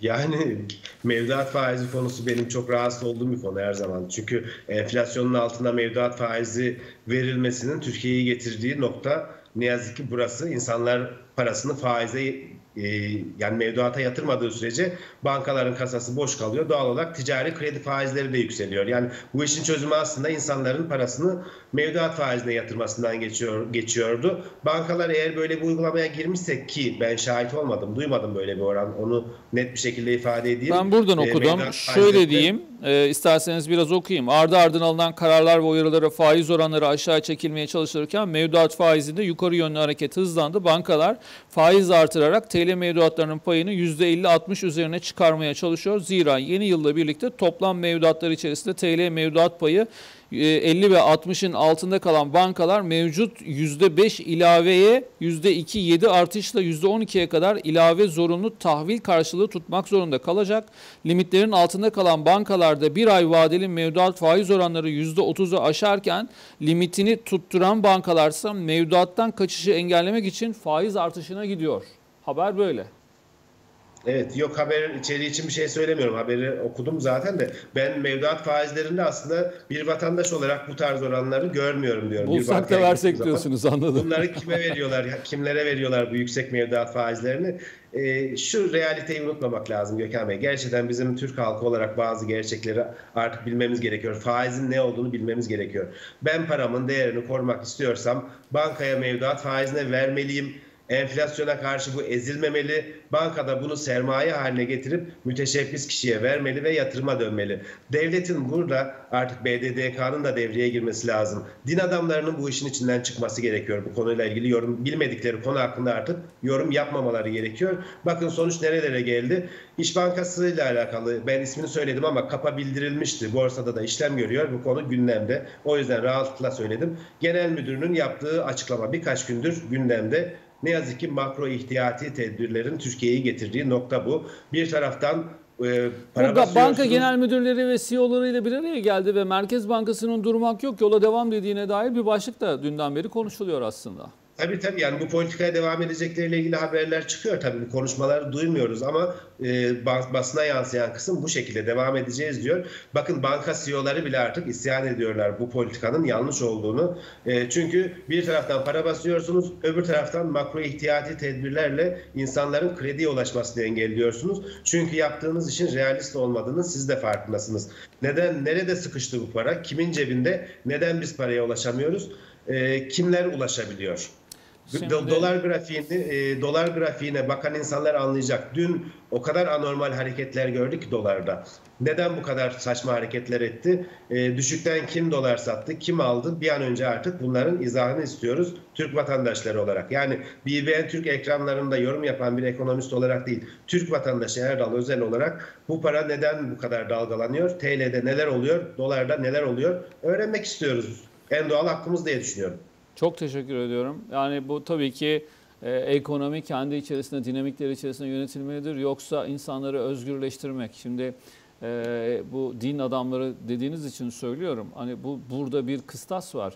E, Geçen programlarımızda da söylemiştim. Aslında faizin yasaklanması iğrenç bir şey olduğu ifadesiyle alakalı olarak insanların özgürlüklerini engelleyen, insanları köleleştiren bir uygulamaydı. Dönemin Mekke ekonomisi içerisinde e, insanların başka insanların kölesi haline getirmişti faiz uygulamaları. Kaldırılan şey budur. Ama bugün faizi indireceğim derken pek çok insan köleleşti. Kredi kartı kölesi oldu, faiz kölesi oldu, kredi kölesi oldu. Ciddi anlamda artış var bu konuda. Benim kanaatim bu. Önemli olan köleliğin önüne geçilmesidir. Çok teşekkür ediyorum. Ee, değerli değerlendirmeleriniz için yarın sabah görüşmek üzere. Ben teşekkür ediyorum. İyi yayınlar. Kolay gelsin. Evet efendim bizden bugünlük bu kadar. Yaklaşık 3 saat boyunca yine Türkiye'nin ekonomi gündemini, e, siyaset gündemini, köşe yazılarını, manşetlerini konuştuk. Haberlerimizi aktardık. Bursa'da çok feci bir olay yaşandı. 8'i çocuk 9 can gitti. Bir kez daha hepsine Allah'tan rahmet diliyoruz. Yarın sabah 10 Kasım'da siyah bir günde hepinize günaydın diyeceğiz. BBN Türk ekranlarında 10 Kasım BBN Türk Günay, e, Gün Işığı programına hepinizi bekliyoruz efendim. Cümle kurmakta zorlanıyoruz. Konu Atatürk olunca, 10 Kasım olunca cümlelerimiz kısıtlanıyor. Hüznümüz artıyor ama bu hüzün değil, onu alma günü olsun. Evet yarın sabah burada olacağız. Hepinizi bekliyoruz. Kalın sağlıcakla.